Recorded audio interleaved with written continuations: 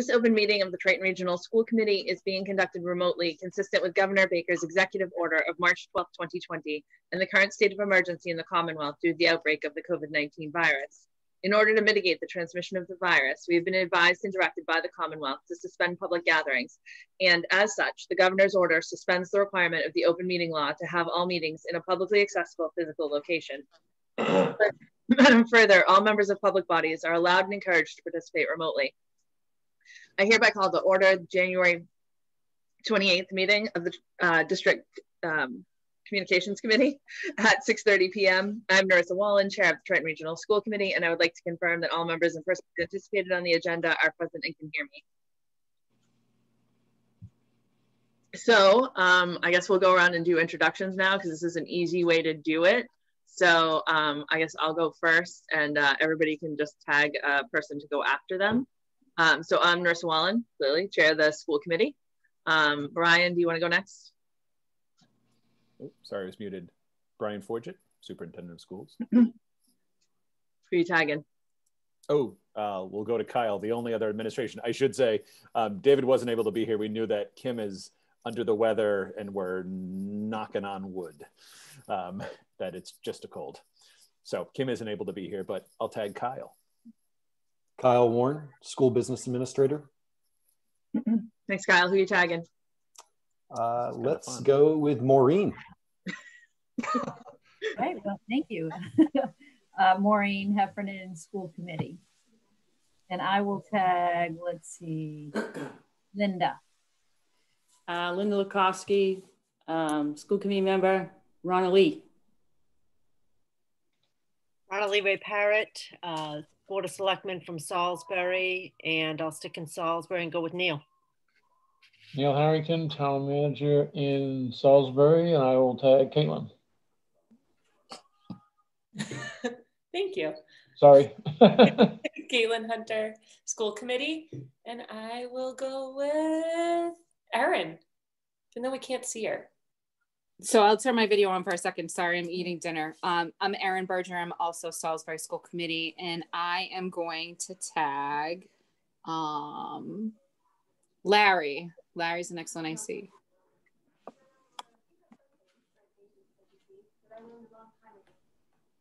Larry, you're on mute, I think. A second.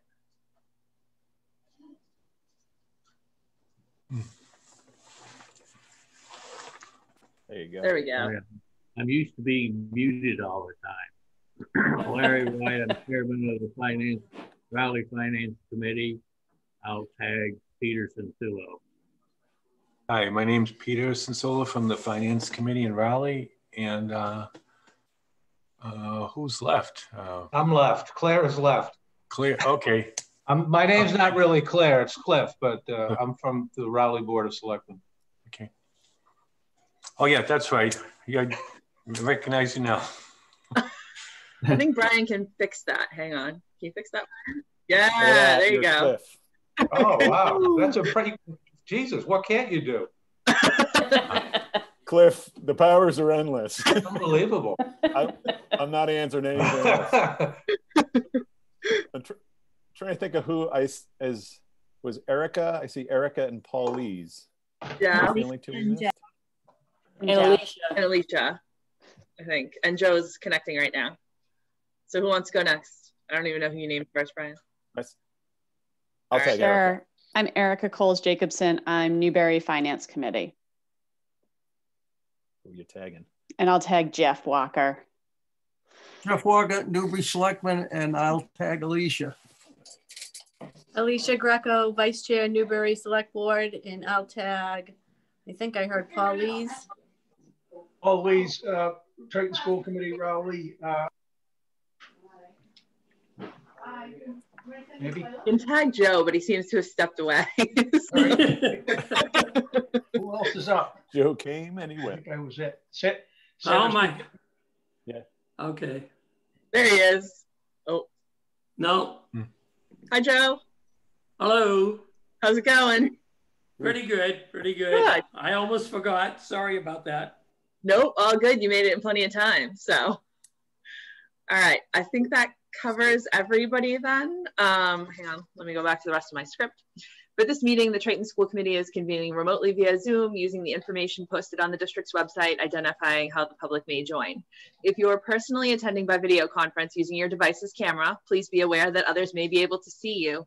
Committee members and administrators, please remember to mute your phone or computer when you are not speaking. All supporting materials that have been provided to members of this body are available on the district's website with the agenda posting unless otherwise noted. So there are updated materials that Brian sent out. Um, was it this afternoon? It's all kind of blended together today. I think it was this afternoon. Um, so those are the most updated materials that, um, that we'll have for tonight. The public is encouraged to follow along using the posted agenda. Each vote taken at this meeting will be conducted by a roll call vote. Please note that this meeting is being recorded and that anything that you broadcast will be captured by the recording. All right, so welcome back. It feels like it's been a really long time, really, really long time since we last met. Um, so we'll try not to take too much of your time tonight for um, for the pleasantries because I think we want to get into discussion and there's obviously a lot to update on here. Um, so if we can, I'm just going to ask you to look through the meeting notes from the November 5th, 2020 DCC meeting and see if you have any corrections that need to be made to those. We don't need a vote since they're not official minutes, um, but obviously we'd like to keep an accurate record here. I read them, Narissa, and I don't see any changes. Okay, thanks, Alicia. Anybody have anything? No, not seeing anything. All right. So we are going to move straight on to the school year update with the learning model then. And I'm going to pass the torch to Brian. Yes. Um, so briefly, I think we've talked about this, and I know some of you have watched school committee meetings, and I've had conversations with some of you. Um, so we are in hybrid as of Tuesday. So we returned to our full hybrid model uh, as of this past Tuesday, which was the something of January, the 26th of January. Um, and so at this point, you know, we're um, hoping we are able to remain in the hybrid model. Our numbers across the communities, across the state, within the schools um, have trended down, not precipitously, uh, but the discussion around uh, remaining in the remote model after the holidays was based on the uh, assumed and what did turn out to be a surge, um, certainly across the state and our communities, and, and we saw that in our schools as well. So, um, so we are on a good trend. Um, so this is um, the same model where we shifted uh, on October 27th, I believe we shifted into the hybrid model and then uh, slipped back to full remote uh, in early December. Um, so our, just a quick summary. So all students are in two days per week. Monday is a fully remote day. Um, students are engaging largely synchronously with their teachers. Um, and then cohort A is in on Tuesdays and Thursdays in the building. Cohort B is in the building Wednesdays and Fridays. Um, and then we have our high priority learners, um, students who, whether through a, needs documented an IEP or a 504 or not documented on anything, um, have specific learning needs that uh, preclude them from learning effectively remotely. Uh, and those students are in roughly 300 students, 325 students that are in all days um, every day of the week. So, um, so that is the, the model that we had put into place um, back in October, as I said. Um, we do have roughly 280 uh, students participating in a remote academy.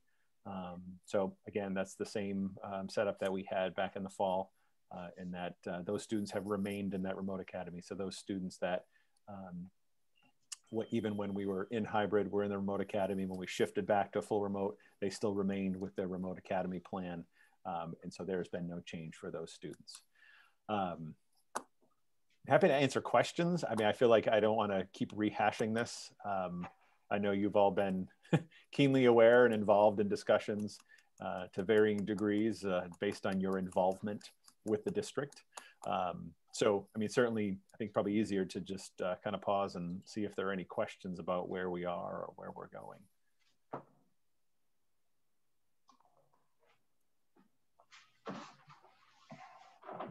Don't see any, so I think you can move on, Brian, and maybe they'll come up as we're talking about um, kind of what the future holds. With the budget, you mean? Mm -hmm. Not like globally. We're not just like talking about the future in general. Oh gosh. I'd prefer if we could just stick to the budget. I'd really appreciate that. I was gonna say I've been wishing for my crystal ball since last March so that I would know what the future holds, and it still hasn't shown up. So yeah, the only thing, thing Amazon hasn't managed to deliver to my house. yeah, exactly. All right, so let's shift to the budget. So um, we are I, I literally was I, as we were talking last night and presenting it was obviously a much more detailed discussion. We spent three hours with the committee last night talking through details. Um, afterwards thinking about it I, I literally couldn't believe the time that has lapsed since we last sat around the table with the dcc and talked about the fiscal 21 budget. I believe those discussions were in april and may ahead of the june meeting but um, uh, our goal, and Kyle's certainly going to take some uh, a lot of time here to, or a lot of the the uh, airtime to to go through some details. But our goal is to is to give you a very brief summary of this document. Um, again, went over it in great detail last night. Um, there, there's nothing really in here that, as far as the fixed costs, that we don't talk about year over year. So our goal is to give you the Reader's Digest version, help you uh, make sure you understand where our, our cost drivers are, um, and then have an opportunity to discuss that. So um, if there's anything you want more detail on, or we're not telling you enough, please just interject. Don't even raise your hand, just scream out, um, and we'll pause and, and, and, give you more detail. So um, the, the document is um, set up uh, very differently than in recent years, as is the process. Um, you are all part several of the i don't know if it was everyone but several of the uh, those of you here tonight were part of a discussion last april and may um, following the, the finalization of the fiscal 21 budget the current budget. Uh, we finalized that. The committee uh, took a final vote on march 11th and then everything happened. The world came crashing down two days later on friday march 13th so um, obviously that put a wrench in everything as we went through the spring, um, we came back to the table with the DCC, and, and, the basic question was times are very different in the two months that had passed since uh, we had closed and town halls had closed and everything was closed. Um, that was a new reality that the towns were facing as well. Um, at that point in time, the discussion around the DCC table was we're willing to commit. We committed to the fiscal 21 budget as it was presented and approved by the committee, um, and we're going to stand by that commitment. Um, that was incredibly appreciated. Uh, that that budget last year or the current year budget um, did do some restoring of prior year um, cuts, um, made some small changes with big impact, like taking away the parking fee at the high school. Not a huge deal for those sitting at the you know around the screen, but a really big deal for high school students and families. Um, so there were some some key investments in that budget, and we are incredibly appreciative of the fact that the towns uh, remained committed to that. Um, at that table, at that same discussion, I believe it was Cliff who said, however, we fully anticipate that next year is going to be really challenging. So um, we remember those words, we remember that conversation that ensued from that, um, and have moved forward with proposing a budget uh, that really focuses on level services. And then we identif identified some needs um, that we collectively believe are important for the district. So there were no uh, individual principal presentations with school councils. There was no presentation from the athletic director, the director of technology, or um, any of the other various departments in regards to um, the needs that we have. Um, we're very cautious in the fact that um, that's not to say that those aren't needs. Um, we, we have spent hours and hours over the years uh, fighting about what we believe is the lack of funding uh, across the state for education that still exists. We still believe in, uh, our towns and schools are woefully uh, underfunded by the state in regards to the way the formula works. Um, but and we will get back to that fight. Um, but in the interim, I think it's important that we uh, recognize the fact that we all as individuals and as uh, individuals personally or taxpayers or our cities and towns uh, are in dealing are dealing with uh, very challenging financial times. Um, and so we have to make sure that we have a process that uh, that recognizes that. So um, it is a fine balance because there are those who will say but you're not fighting for my need um, so i want to make sure that we just pause and say that's we're not not fighting for needs there are certainly needs um, but i think the the challenging year uh, is the most important context. So streamline the process, which means we streamline the document. So you have one document Um, the, the, the, basic structure is set the, set the context, a lot of what I've just said. Um, then we go into our fixed costs, the things that uh, are going to automatically increase year over year, same topics we talk about each year.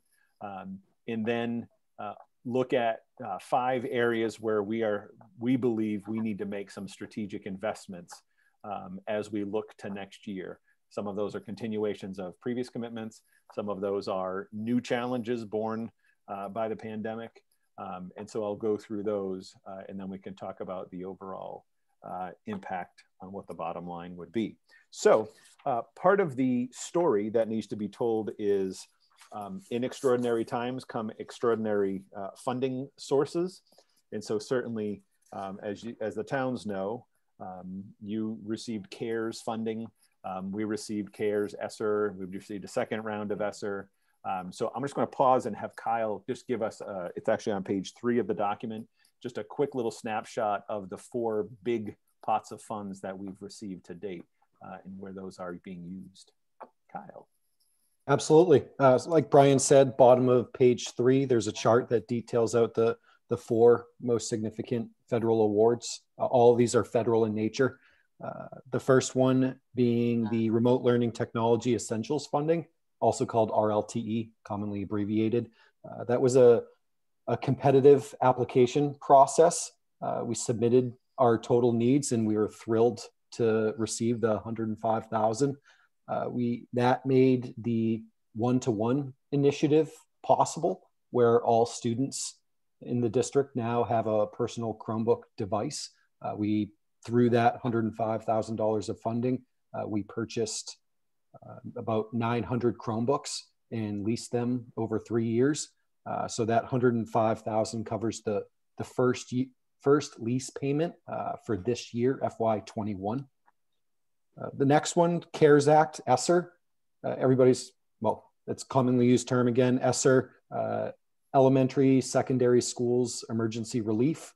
That is the uh, pot of funds that we received in March when the pandemic first started at the, or immediately after the, the closure of schools. Uh, that has a useful life through September 30th of 2021. Uh, I'm sorry, uh, FY22. So we're actually electing to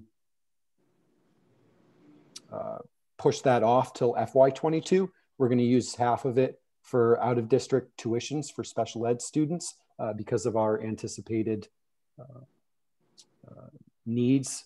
certainly some learning loss there. So there may be additional students uh, who have to go out of district. And then the second half will be used for the second lease payment on that one-to-one initiative. Uh, Larry, I can take your question now. Easier just to take them as they go.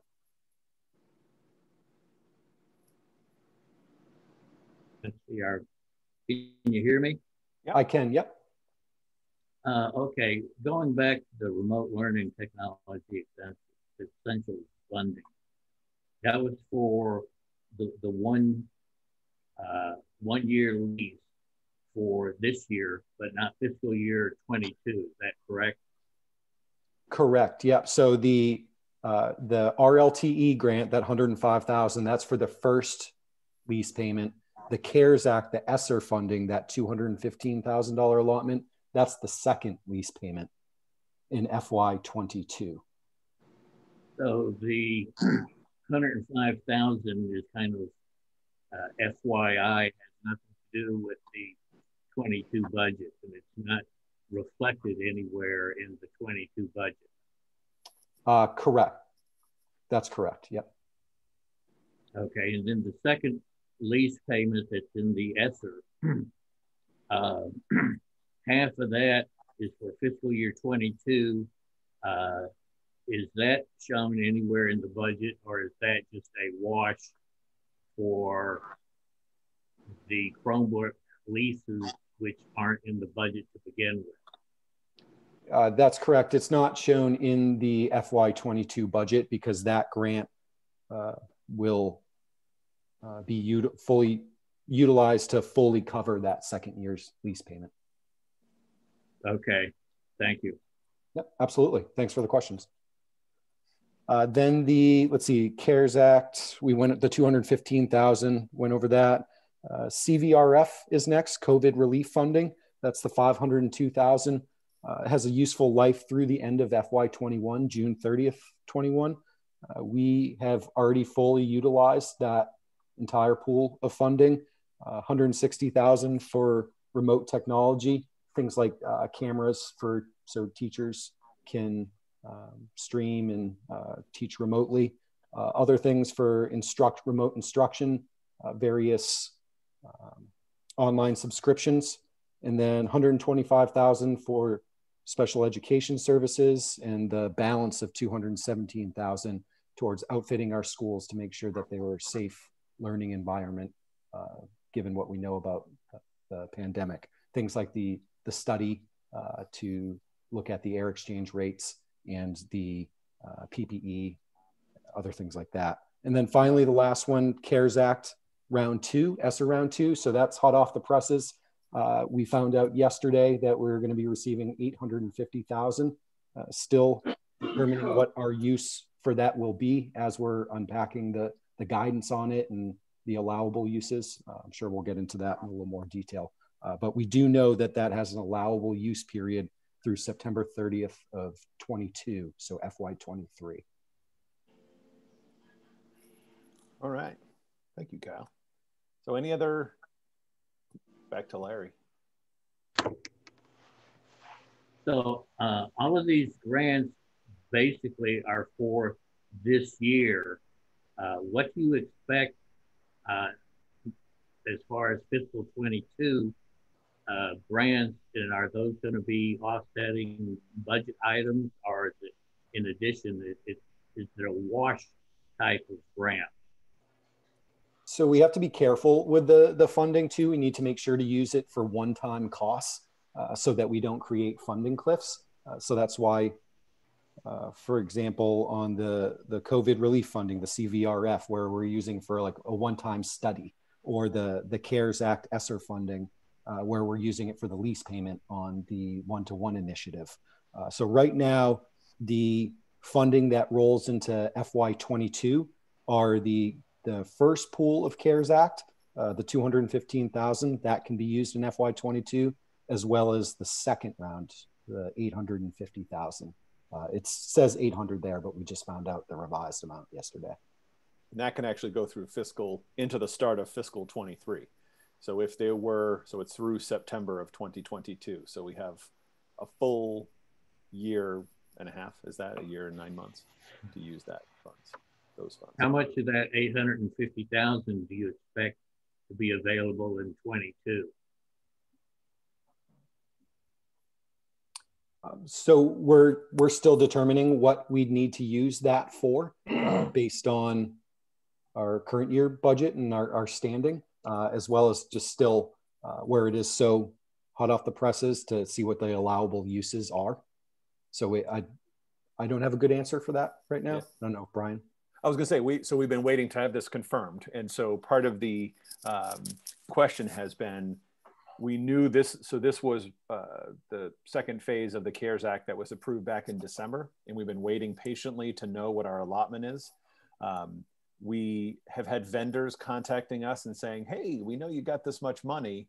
Um, let us help you spend it. And we kept saying, hmm, we don't know we have that yet. So it was released yesterday along with the state budget with some complicating factors about minimum local contributions and such that we're trying to unpack. But um, what we're anticipating now, so in, in the narrative that I tried to explain, we tried to explain was there's still a lot of unknowns. Um, so what the, the kind of the big pots that we're looking at right now is we know there will be a significant deficit in our food services uh, program.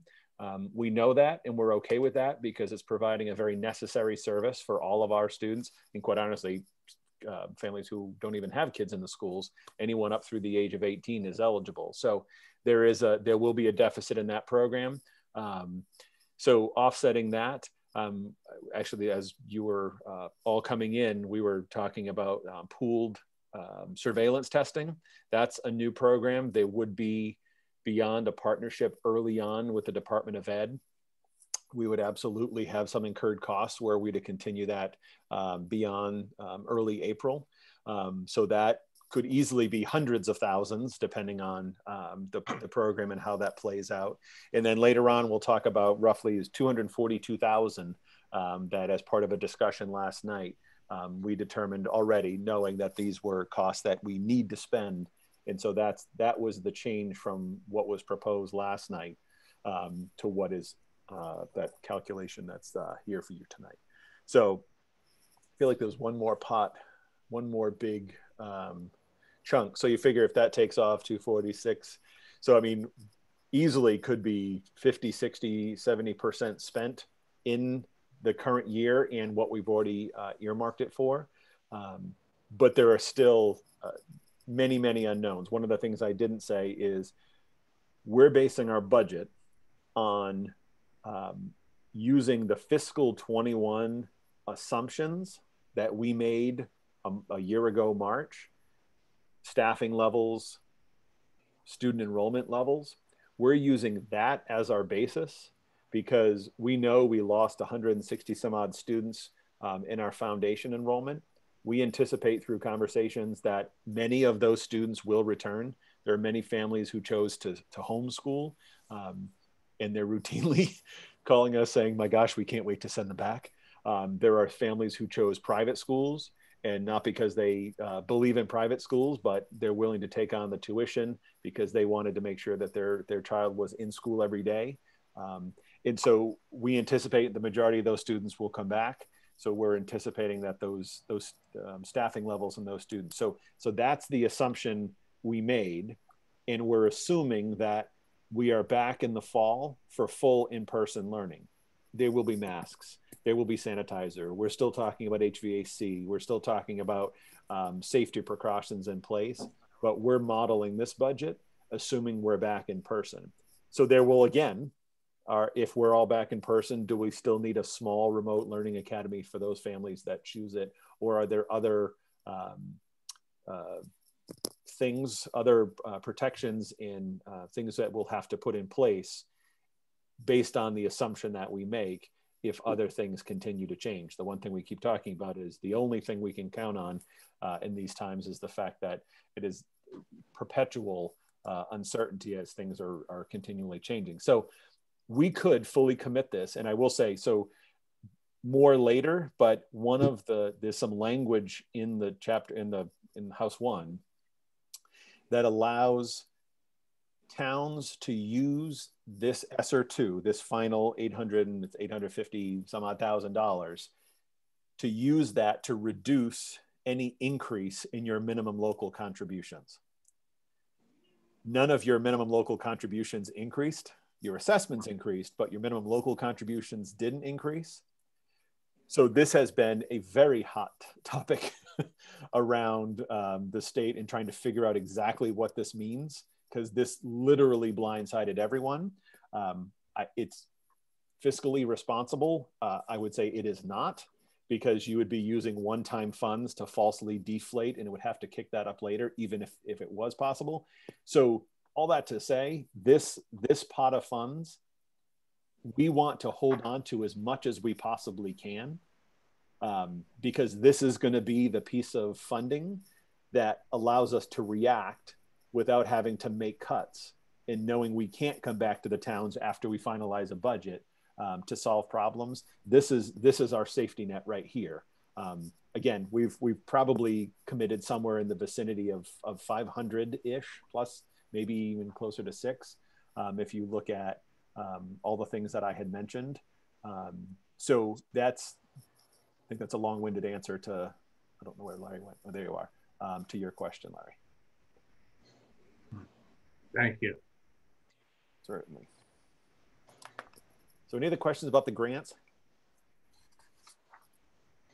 I have a question, but it's not about the grants. As far as when you supposedly going to have full day kindergarten, that's going to be a big, expense. that's, that's, isn't that going to be an expense that's going to be borne by the, you know, the towns? Because how much is that is going to be him tuition? You know, was most of it. Uh, so I'll get to that. That's one of the the new spending that we um, talked about as far as a strategic spend. So the current year's budget funded 75,000 towards the first of three years. We needed to add 75,000 each year for three years because we collect roughly 225,000 in tuition. So for this year, before pandemic, um, the 75,000 paid down um, the tuition from close to 3,000, 2950 to 2,000. Mm-hmm. An additional 75,000 added next year brings the tuition from 2,000 to 1,000. And if we could add another 75,000 in fiscal 23, uh, it brings, as of September 2022, we have universal free full day kindergarten. Free, okay. Yep. So that's the that's the plan at this point. That was where we set out last year. Um, whether or not that 75,000 is a priority that that we can carry in the budget um, is remains to be seen over the coming weeks as uh, details begin to or continue to solidify. Hmm. Linda. Oh, Yes, Brian, could you explain when you were talking about the food services that the deficit, it might be helpful for them to understand what that deficit is? Sure. Kyle, do you want to speak about that? Kyle's yeah, absolutely. So right now, so this year, just quick little background that uh, normally our food service receipts would be a blend of uh, students who are paying for their lunch or and then as well as state and federal receipts for students who are uh, qualify for free or reduced lunch. Uh, fast forward to this year, the federal government extended a waiver where all students now qualify for free lunch, regardless of income guidelines. So we've done away with all those in-person receipts and now it's uh, exclusively state and federal funding. Because we're paying our staff still to create these meals, but there's it's uh, we've been oscillating our learning models, uh, whether it's hybrid or uh, remote. Uh, certainly, there aren't on any time. There isn't uh, all students in the building, so we're seeing that decrease in revenue, and it's not a, a linear relationship between uh, the number of meals sold and the cost of that program. So while we're in a hybrid learning model, we've been losing about ten thousand a month and then while we're in a full remote, been losing actually about 30,000 a month. Uh, but the way that we can minimize that deficit is through increased participation uh, in that program, uh, where just trying to get as many students to partake in the free lunches as possible, whether they're sh- uh, showing up to school or we've been uh, delivering meals to uh, through NRT bus directly to the homes of these students. Uh, so that we've made some headway, certainly in marketing the program, getting the word out there. Uh, but that deficit, so the 200,000 is what we're projecting as a, a worst case scenario, uh, probably projecting it to be closer to 150,000. And uh, last point just wanted to make is we looked at, can we cut some costs there? And with our staffing levels, it's, we need a certain level of staffing to create, prepare these meals. And if we were to cut that staffing, it would limit our, our output essentially. So it would have a detrimental impact on how many meals we could serve. Uh, so that's kind of where we, we stand with that. Does that highlight the, the situation?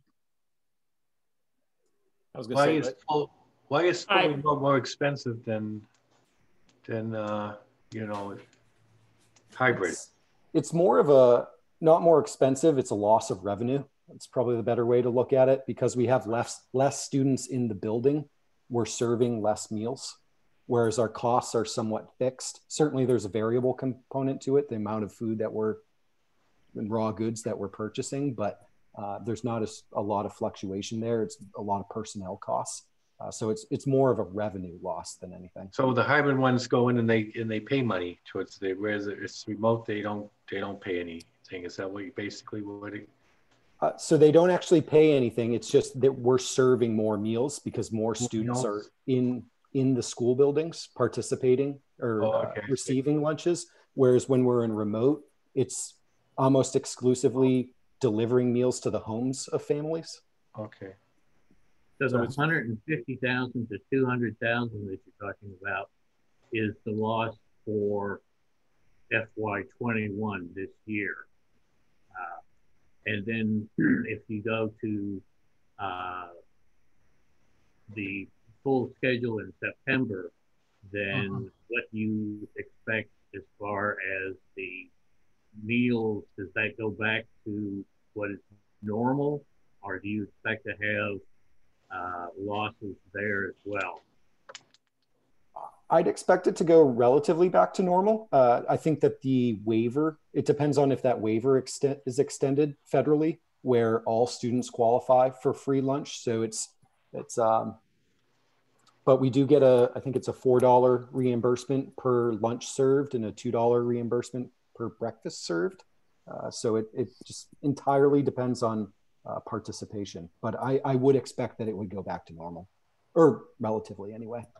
I was gonna say there's there's a big push to uh, to keep this universal free lunch in place. Um, so right now it goes through the end of June, and I know, I mean, at the state level, at the federal level, people are pushing to keep this in place because, you know, it's I think it's always sometimes hard to determine, you know, who needs food assistance and who doesn't, um, just based on the piece of paper that um, would currently call, or previously, I should say, um, have qualified someone for free lunch. So um, I don't know. I mean, I, I think that's a big piece in it. We don't know.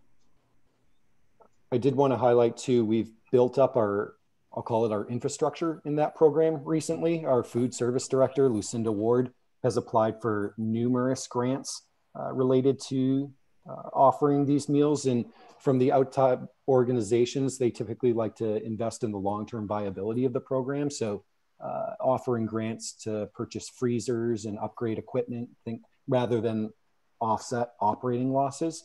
Uh, but we've received uh, $30,000 grant from our neighbor's table, was it? Uh, as well as another $5,000 grant from another organization. So that certainly helped us, helped our operations to output more meals and create more revenue. So I have a question. Is that deficit, and I think you may have answered this already, but I want to just go back, circle back, that call it $200,000 deficit, is that um, money going to come from this ESSER 2, $800,000? To fill that deficit? That's what we're anticipating. Okay, thank you.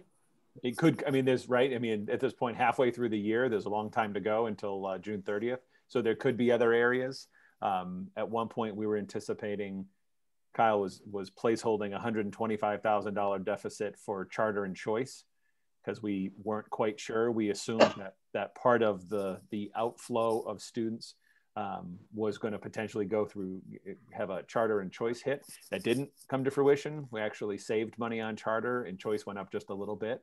Um, so so there are areas where we would see savings in other areas. Um, you know we talked about after the budget finalized we were we were planning for the world ending. Remember we were talking about a million dollar loss in chapter 70 or a million and a half.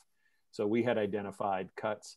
Um, kyle will talk about the fact that you know we had trimmed uh, three teachers this year just based on attrition, not not making class sizes larger. Two of the three of those um, will still be a savings for next year, but those are savings in the current budget that will help offset some of that um, those savings in other areas. So there was there's so much different spending this year. Um, costs for remote academies that we didn't anticipate, costs for HVAC.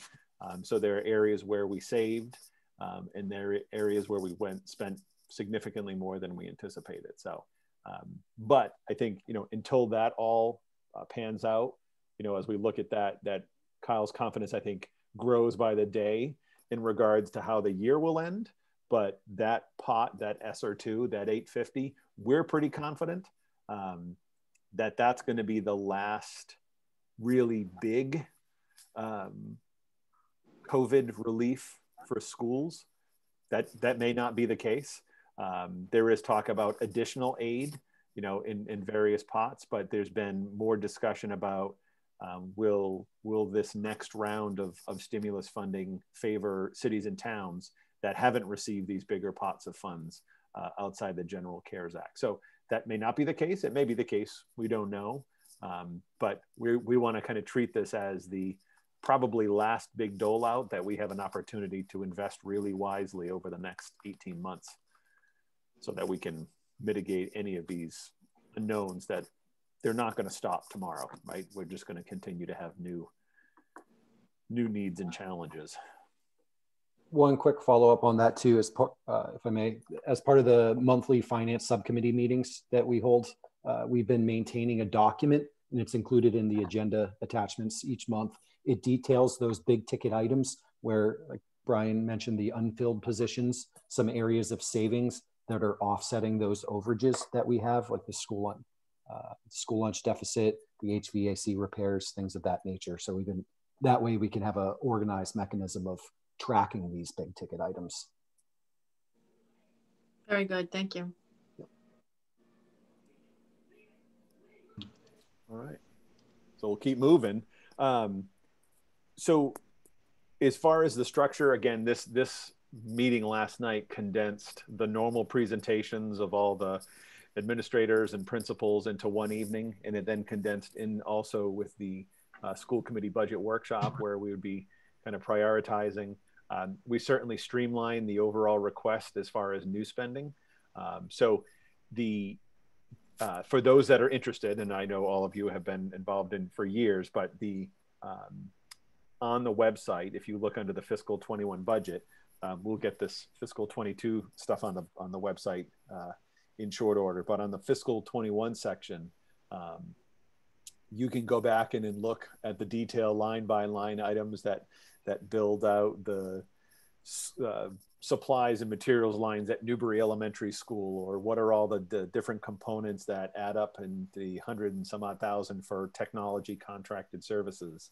Um, so that line item detail was not reproduced for this year's budget in an effort to streamline, uh, but all of that detail that was produced for fiscal 21 is still relevant. There'd be some costs that ebb and flow if we had a two-year, you know, uh, subscription for antivirus, and now we don't pay it this year, but we pay a different subscription for something else.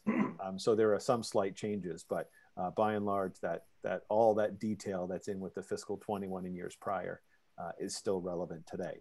So um, I think probably makes sense to have Kyle again. We won't spend a lot of time on it because this is these are details that you're you're used to seeing, uh, but have them go through um, the you know roughly 1.3 million um, that it's going to cost to take us to do business next year with the same level of services that we have this year. So yeah, I can uh, explain those. So starting on page six, we have two and a half pages of the uh, proposed increases as part of our, our level service, the items that fall into the level service uh, broken down into four different categories. So starting at the top of page six, uh, the first one is steps for all unions. We have five collecting collective bargaining agreements uh, or uh, groups for at Triton, the teachers, IAs, T- TRTA, Unit A and B, cafeteria workers, custodians, and head custodians. So that increase represents the movement down the salary schedule uh, based on the years they've been with the districts. The district, uh, one through 11 is, and then you top out at 11 years. Uh, so that's 315,000. Next is the cost of living adjustment or COLA for all unions, those five uh, organizations, 464,705. Uh, worth highlighting that the TRTA unit A and B, so the classroom teachers and the instructional assistants, they have set union agreements for FY21 through uh, for three years. And uh, the remaining three are still in open negotiations. So within that figure, we included an estimate. Uh, next is the cost of living adjustment for all non-union personnel. So that includes our central office staff, administrators, uh, IT, things of that, uh, positions of that nature, 73,506. And by comparison, because uh, it was shown because it was shown on the face of last year's budget document, last year the sum of those three items was 880,000 uh, of an increase. This year it's 855,000. Next, we have projected column movement. So looking back to that chart on the uh, salary schedules of the union agreements, that's the left to right movement based on the number of credits beyond degrees that uh, these individuals have satisfied. So a master's degree to a master's 15 Um, we typically, last year, we only had 10 individuals indicate that they anticipated moving to a new column. Uh, those notifications are due by December 15th so that we can budget uh, appropriately. So last year, 10 people equaled about a $38,000 increase. This year, we had 35 people submit notification uh, that they anticipate column movement. So that's why you see the increase over the prior year in landing at us uh, 108,925. Next up, the salary reserve. Uh, so looking to maintain a $140,000 balance there as a contingency line item. When you look at that balance as a percentage of our total payroll, which is approximately 26 million, it's uh, 0.5%. And that gives us uh, flexibility where typically with new hires, we budget for a, a master's degree with six years of experience. Sometimes it comes under than that, maybe somebody with bachelor's three years, or but sometimes it also does uh, uh, come over that. Other scenarios we actually experienced this year where with all, and we'll get into it a little more detail, where with so much added technology in the classroom and now a, new learning model, uh, students using these additional Chromebooks for the one-to-one program. Uh, we, our IT department has a ticketing system where if you have a challenge, an issue, whether it be parents, students, or staff members, uh, the PC technicians uh, field those tickets. Uh, we had had two full-time positions there before, and it just wasn't the resources available weren't enough. So we had to uh, utilize that salary reserve in the current year to add another position. Uh, so things like that. And then the last item in the salary uh, bucket up top is actually some staffing reductions. And I just want to dive into that a little bit more. That not so much a reduction; it's an un, been an unfilled position. Uh, this year in FY21, there was a grade six teacher at Pine Grove School and a grade grade two teacher at Salisbury Elementary School, where because of retirements, we didn't fill that uh, role. And because of student enrollment, there wasn't a need to refill that position. Uh, looking at our projected enrollment for next year, we still don't anticipating needing to fill those unfilled positions.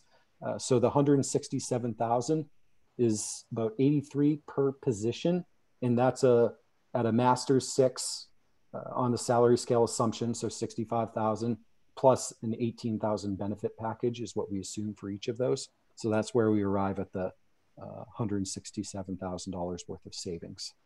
I was just going to note. So there was there was a third position this year that we didn't fill, and that was a sixth grade teacher at Newbury.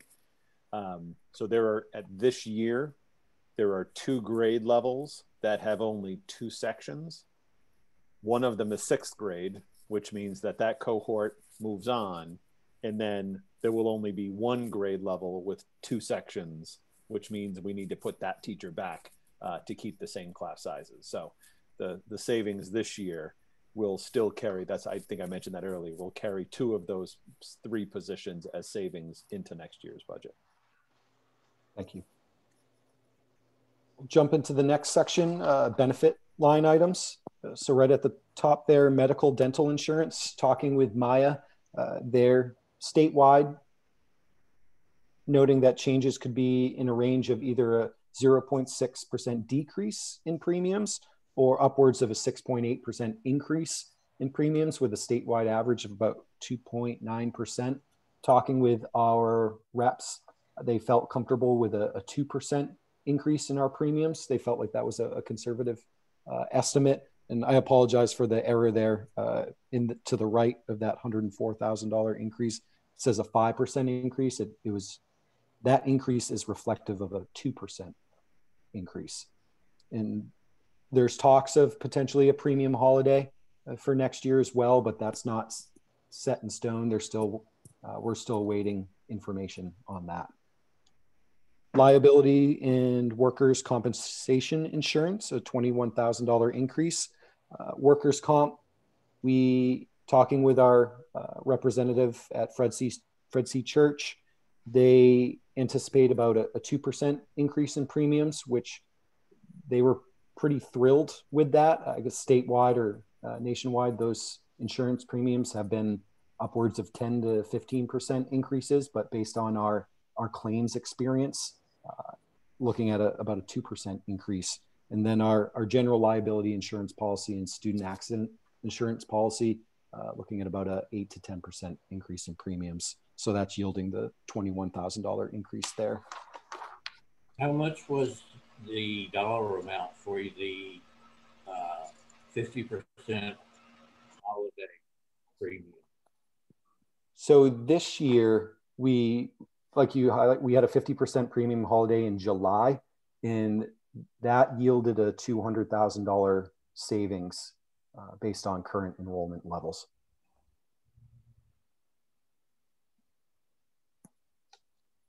Thank you. Yeah, absolutely. Good question.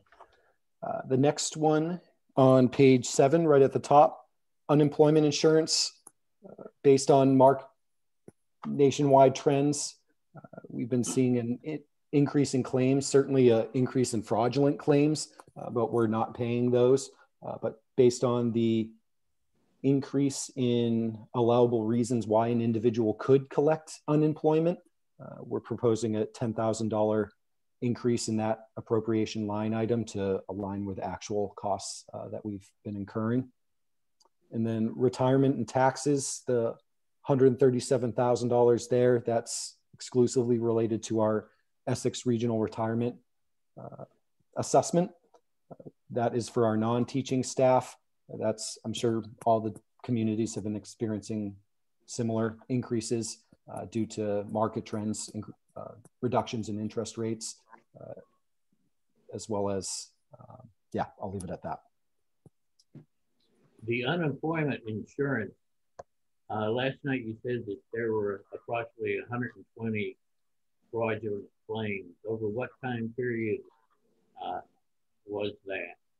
And has there been an increase or decrease in the number of claims? They go in waves. Very interesting. So at the onset of the pandemic, I would say in the, the June timeframe, we certainly saw it, the bulk of those fraudulent claims come through. Then there was a lull. And then in October, November, all of a sudden the uptick started again. Uh, and a, another wave of them came through. And looking at our uh, the listservs that I'm a member of statewide, other districts, cities, and towns were experiencing similar patterns as well. And every single employee who was impacted this by this was notified. And then also uh, we notified the state of the fraudulent claim as well, so that we won't. They're still hanging out uh, because there's it's such a perverse issue uh, that there's delays in having those taken off our our bills, but it's well documented that documented that those are fraudulent claims. Right, but the 120 then applies to FY21. There were reports, so that's been accumulated from uh, starting in FY20 to date. Okay. I believe we've only had one so far, one or two in uh, this month. And, and we're a pay as you go as far as our unemployment costs. So we don't fully insure where you pay a premium that your this year's claims hit a set cost next year. So it's dependent on our actual claims rather than being fully insured. So claims this year impact this year. So this is a big problem at the state level. Um, I sat in on a fiscal policy committee meeting at the MMA, and um, I believe it was the mayor of the city of Marlborough was very um, upset about these claims. And um, I know that I think the town of Newbury itself had 25 claims going. So just in our little town. So this is this is a bigger, huger, you know, issue at the state level, and they are well aware aware of it. And um, I don't know, I don't know how it's going to go away, but as long as you document, I think you're going to be all right. Yeah, it's, it's taking. Too. Yeah. Uh, to your point too about how they're being inundated with it, we have fraudulent claims that have been sitting around since uh, June, I would say May still, yeah. where they haven't been taken off our monthly bill.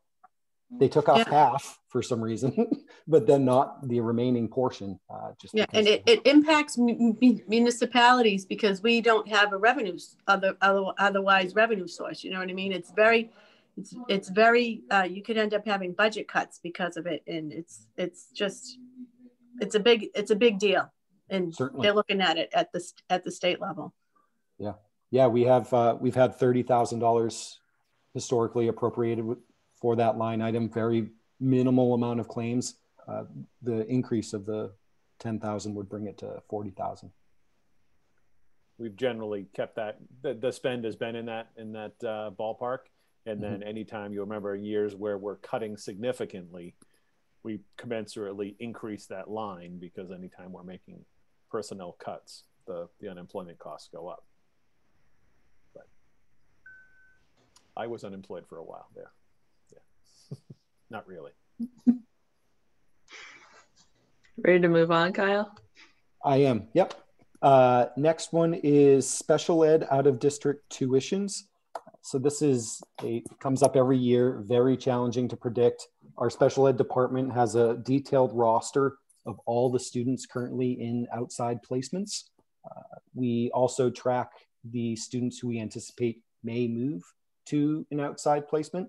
Uh, as you're aware, if a, a, a, new student needing of an outside placement moves into the district, that can cause a significant $100,000 fluctuation in this line item. Uh, but as part of this process, we're trying to exhibit the, the high watermark of where we anticipate uh, our costs could be.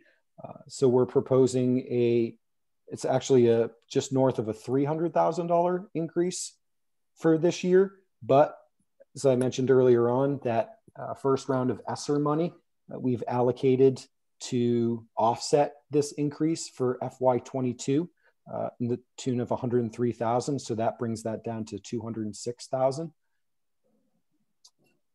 And just keeping an eye on that based on the trends. Uh, I won't elaborate too much more just because I think we're used to hearing about it each year, but certainly being very watchful uh, of that particular line item. Uh, jumping to general transportation, we contract with NRT Bus uh, to provide all of our yellow school bus uh, transportation services. That $46,000 increase is relative to the new contract uh, that we signed with them, FY21 through FY25. Uh, represents about a, a, 2 to 3% increase in uh, the various tiered ride bus trainer transportation types that they provide. Uh, included in that figure also is late buses and uh, a little bit uh, of an allowance in case we need to transport students for uh, finals and things of that nature. Uh, worth highlighting that special ed transportation is not included on here uh, because we, our special ed department maintains a roster for all those out of district students and detailing their transportation needs as well and based on the students who we uh, project to be graduating this year, uh, as well as maybe students who will be needing new out of district placements, projected to be a wash, uh, no net increase there. School so choice to it. Go ahead. Can we stop there for a second? I have a question on the um, general transportation. Yes. So I remember earlier in the pandemic when everybody stayed at home, I don't know, Brian, was it the end of fiscal, end of the last year, school year, when there was an issue with um, the district contractually obligated to pay for buses that never ran, and that was in violation of statute. So what happened this year? Because the buses, is the contract similar? If this, if you're budget assumptions are the same as last year, what does that do to this transportation line and has it been adjusted?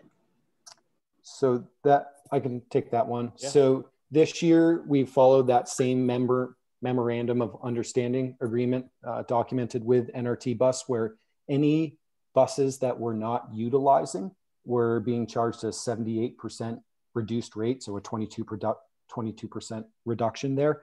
Uh, that is carrying this year as well. Uh, we've been using when students have been in a full remote learning model. Certainly, we've been using less buses, so paying that 78% rate. Uh, but when we shift then to a hybrid learning model, more student, we're having to run our pretty much our normal bus runs. Uh, actually, for kindergarten ridership, because of uh, we've been having to run a, few more than uh, kindergarten runs than we anticipated. Fast forward to next year with the expectation that we would be able to have potentially a full in person. We wouldn't want to carry over that 22% reduction. So it, our expectation is that we would be at that full contract level, full ridership. Okay, so this assumption for next year assumes that we're all back in school as normal. Yes. Yep. And if we're not, will you find savings in that line item? Potentially. Okay. Based on based on the ridership, if we are in hybrid, we're still running all of the buses every day. But if we were in a, a fully remote model, then we're only transporting our high need students, which yeah. are, are a limited number of runs. Thank you. Absolutely. Great question. I think it's worth noting too that we have fewer families that want their children on the bus. There are more drop offs, um, but they have the, the students that are on the bus have to be farther apart um, because of social distancing. Um, we can't put them two to a seat like we normally would. So it, it sort of balances out. You you know you have fewer kids on there, but you also can't run buses with the the volume of students on there that used to be on there. Yeah, Thank thanks you. for highlighting that. I'll jump into the next two together, school choice tuitions and charter school tuitions. Uh, so looking at the most recent data available, uh, school choice, we're projecting almost level, uh, a $5,600 increase right now. And that that's a moving target as well. Um, this year, we're just, I think we just got our figures finalized uh, a couple of weeks ago. Uh, so paying close attention to that, but based on current trends, we feel comfortable with that, that figure. And then charter school tuitions, just got the updated information yesterday as part of the governor's budget uh, proposal. And uh, moving forward, we'll be comfortable actually showing a, a $50,000 reduction in that line item over the current year budget. Uh, so we'll, we'll update our records to show that general technology. Uh, now we're going into the, the various departments. Uh, wanted to highlight that a note on non-salary um, line items. We expect no net increase. There's certainly a, a, shifting between certain line items. I think Brian, Brian touched upon it earlier where uh, we have a new contract for copiers.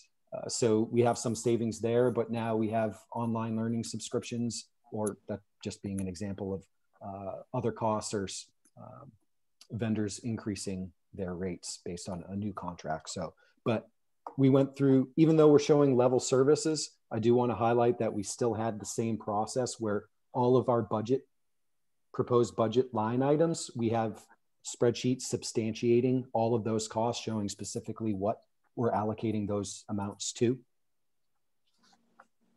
Athletics, same process as uh, general technology, sat down with the um, athletic director. The $4,600 increase there represents uh, the coaching stipend, stipends, where that's a, a, component of the TRTA Unit A contract, where based on their uh, years of uh, service, uh, they have contractually obligated increases. Uh, there has been some shifting in non-salary items, but maintaining that level budget.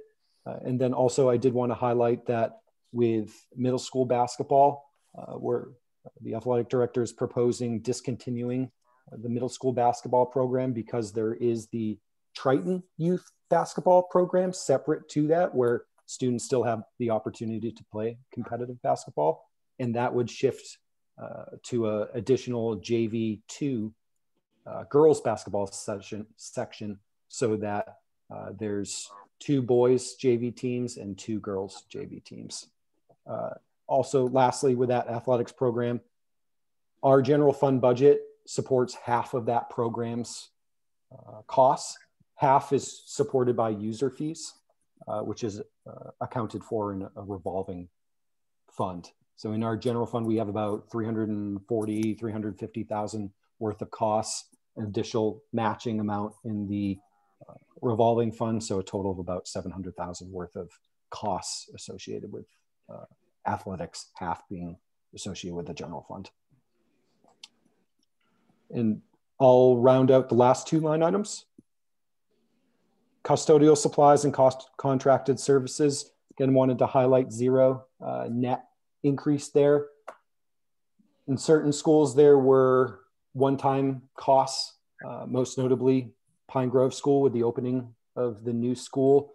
Uh, we wanted some, um, if there were some repairs that were needing to be made or uh, some assessments, projects, uh, one-time purchases, those don't need to be repeated, uh, but certainly in the new normal that we're in, added costs with supplies, with those budgets haven't matched what our spending levels have been. So any savings have moved over to those supply line items to where now at each school, each elementary school, we have a supply budget for custodians of uh, 25,000 and then a $45,000 supply line item for the middle school, high school campus. And on the topic of operations, the last item there, utilities and services, an $85,000 decrease we're proposing. Uh, that's composed of the uh, heating costs and the electricity costs, notably associated with the Pine Grove School, way more efficient than we were projecting. Uh, so looking at our facilities director, Chris Walsh, has his spreadsheets where he looks on the actual usage and therms and the uh, current market rates, and he calculates everything to see what what our costs will be that we anticipate incurring with also the assumption that we have all this added technology in the classroom now, a thousand more Chromebooks. Uh, I think the using technology in the classroom is just going to continue to elevate. So we, we anticipate using more electricity because of that. Uh, so we, with that still in mind, we felt comfortable trimming back those budgets by a total of 85,000. So we should say that I think we should say that all towns should build a brand new building because they are so much more efficient, like the town of Rowley hmm. did. Just going to put that out there.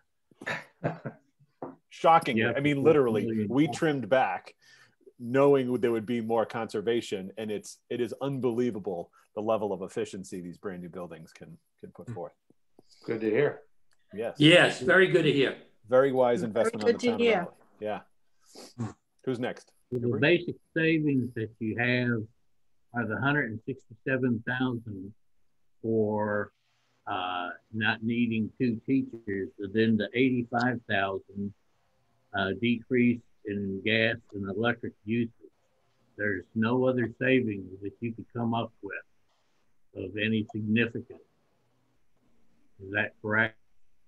That is correct understand that there's other costs that are going to go up and we're finding ways to absorb those in other areas right so in all those general supply lines um, every school has instructional materials. They've got regular kind of office materials. Um, kyle talked about um, maintenance and facilities supplies and materials. You know one of the part of the assumption is we certainly have some covid related funds left for continued PPE and sanitizer that we're buying by the gallon and the, the increase in those supply lines that were able to be offset by savings in other areas are is kind of planning for the new norm, right? We're going to be buying masks likely for longer than the COVID funds are there. Certainly sanitizer, that's going to be the new norm, you know, all but take a shower on your way into the building and that stuff. So so that's kind of preparing for the new norm. But yes, those are the big buckets of savings um, that we identified. And then Kyle noted um, this all, right? This is a preliminary look. And so things are subject to change. We'll talk about revenues in a second. Um, the the medical has a potential to be lower. I don't believe. I mean, they basically said there's your high water mark.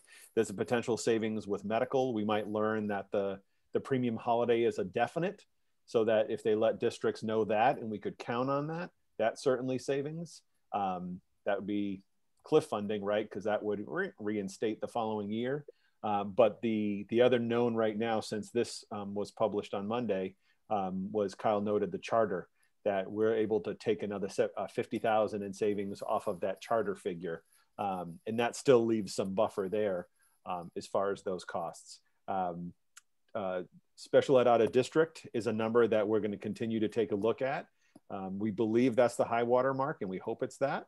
That could potentially um, shift in the right direction. So there are other areas. Again, we talk about the tentative being the absolute high water mark. Um, there are other areas as we continue through the process that we may um, see some savings um, and hopefully things like regional transportation um, and other areas get better and produce um, better revenues, increased revenues. Erica? I have a question. Did we realize any savings? There were a number of open positions that were being advertised throughout the fall. Was there any savings in this year's budget that we could have realized, like we realized that are going forward, anything in that way, just knowing that those, there were a lot of unfilled positions. Yeah, absolutely. So that's part as part of that document uh, that we review at finance subcommittee each month uh, to offset some of those overages we've been experiencing, like the HV HVAC repairs. Uh, we've I detailed out unfilled positions that we know we will not fill for the rest of the year there's some positions where we're continually trying to still trying to fill them uh, instructional assistants uh, uh, teachers who might be out on leave uh, things of roles of that nature so it's, it's mostly been spent in other areas but remember any so any savings at the end of the year mm-hmm.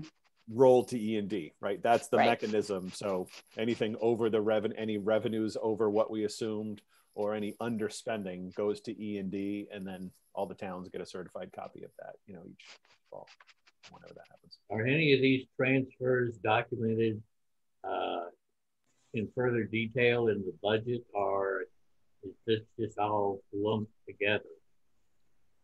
Uh, what transfer? So I can. You know, if, you're, if you're spending a ton of money on uh, hand sanitizer, is that uh, reflected in the new budget for 22 in supplies, or is it hidden in other costs? I follow your question. So there's certain items where we're trying to maintain a long-term perspective with the budget document. So if we know these are one-time fluctuations, uh, for example, with the bus transportation costs, we don't expect to have any savings next year because we expect to be running all the buses all the time. So we don't book a transfer for that. But with the IT department, where there's been this added need for technical support, like I was mentioning, this year added one additional FTE, a full time role. We know that that need is not going away. So for that instance, there is a transfer from the, the salary reserve line item to the corresponding IT budget. Uh, and then as part of to keep track of any of those items where we're not booking transfers in the general ledger from a strictly from a budgetary perspective, uh, we have that document uh, that gets presented as part of the agenda at each finance subcommittee where we're keeping track of either savings or uh, shortfalls. Right. I'm not implying that what you're doing is wrong. It's just as no, long as it's documented. Uh, and we'll say a person like myself looks at the detailed part of the budget that uh, it would be obvious why you're transferring money from one area to another. Uh, kind of done all the time in all the other departments. Yeah, the historical, if we are transferring money in any um, significant quantities um, we bring that to the committee. So if we're moving, we're moving $100,000, um, I should say, if it's if it's moving out of categories. So if we're moving 100,000 out of supplies into personnel, personnel into contracted services, we bring that to the committee.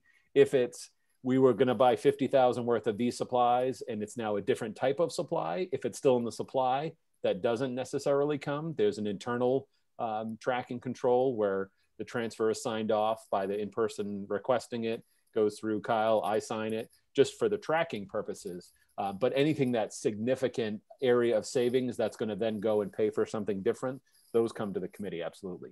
And so one of the big um, uh, kind of collective ways we do that is that fall adjusted budget. So each fall, right in March, we approve a finalized budget, then goes to the towns as approved.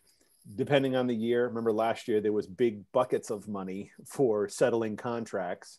Then when the fall budget was approved, that money was dispersed from all the various 2000, 3000, 5000 series lines into those individual salary lines by school, by department. Um, this year, right? So when we get to a fiscal or a tentative budget in two weeks, Kyle will already have that level of detail in the majority of lines because those contracts are already settled, and so there's no, there's nothing we have to make any kind of, kind of uh, uh, executive session um, assumption. So that that first or the only adjusted fall budget does a lot of that reallocation and you can see that line by line where money is going out and where it's going in. So that's that's i would say the biggest mechanism where we do nine times out of ten that's that's the only time we make any real large bulk transfers between lines. Okay. Uh, when you were in the hybrid mode was uh, every classroom used uh, in uh, the, the five uh, schools or, or were certain areas or sections of buildings uh, closed? No, so we have, so there, it, I would say it depends on the school, right? So Newbury Elementary School was built for a capacity of, I don't know the exact number, 700 some odd students. The roll enrollment there is about 390 right now. So is every room fully utilized? No. Um, they're used for different spaces are used for different um, purposes, right? Not every single classroom is a classroom. There are um, extended day programs, um, but so we may had to make a decision when we shifted to hybrid. We could have brought more students back within existing space, right? So if we had space, we could have split classrooms up into smaller um, uh, smaller cohorts that would allowed us would have allowed us i should say to use that six foot distancing bring more students back. But in order to do that we had to add staffing. So in the where we landed was existing staffing existing space and there are some spaces that are not fully utilized at the elementary level. Um, at the middle school and high school um, spaces are, are more extensively used. Uh, there are still some classes at the high school. You know, you all went through high school just on the basis of high school. Um, even splitting the cohorts was challenging because if I have seven different classes, I might be a perfect balance in my math class, but then depending on how my English class falls in the schedule and rotation, it might be a 70 30 split with the students and in, in what cohort they're in. So uh, there are some classes meeting in the library that are larger classes, so those students can be entirely spread out. Eating in the gymnasium on the bleachers, um, so the the spaces are more widely used, um, but we weren't able to split up classes to bring more students in just because of the staffing. Um, and I, you know, we've talked about that through the fall. I think there would have been definitely times where we, even if we wanted to add more staffing, we wouldn't have had the uh, people applying for the jobs. So in a typical classroom, what's the, the largest uh, number of students you can have in the class? Is it, is there a, uh, like 20 or is it like no, 15? No, no, At the elementary level, um, 13 to maybe 14 some classrooms. Um, at the high school level, I want to say high school tend to be more perfect boxes. Um, you know, at the round in Newbury, they're trapezoids. So um, um, in the more typical a standard classroom is between 850 900 um, square feet. So a typical box 30 by 30 classroom 16 with teacher space plus movement you know uh, to, to move or space to move around. Um, there are like i said there are some classroom spaces that are just larger and we're able to have a larger cohort. I was actually walking out tonight with uh, megan ober who is like the per literally any the first week or two moving into hybrid she's just a bean counter right? She's like, I feel like a bean counter. like her job is okay. This class now has too many students, too many. So it's either find a place in the building for that class to stay intact, or mm-hmm. two of the students need to change classes, which anyone with a high schooler knows it wreaks havoc on your schedule. Um, Erica's nodding.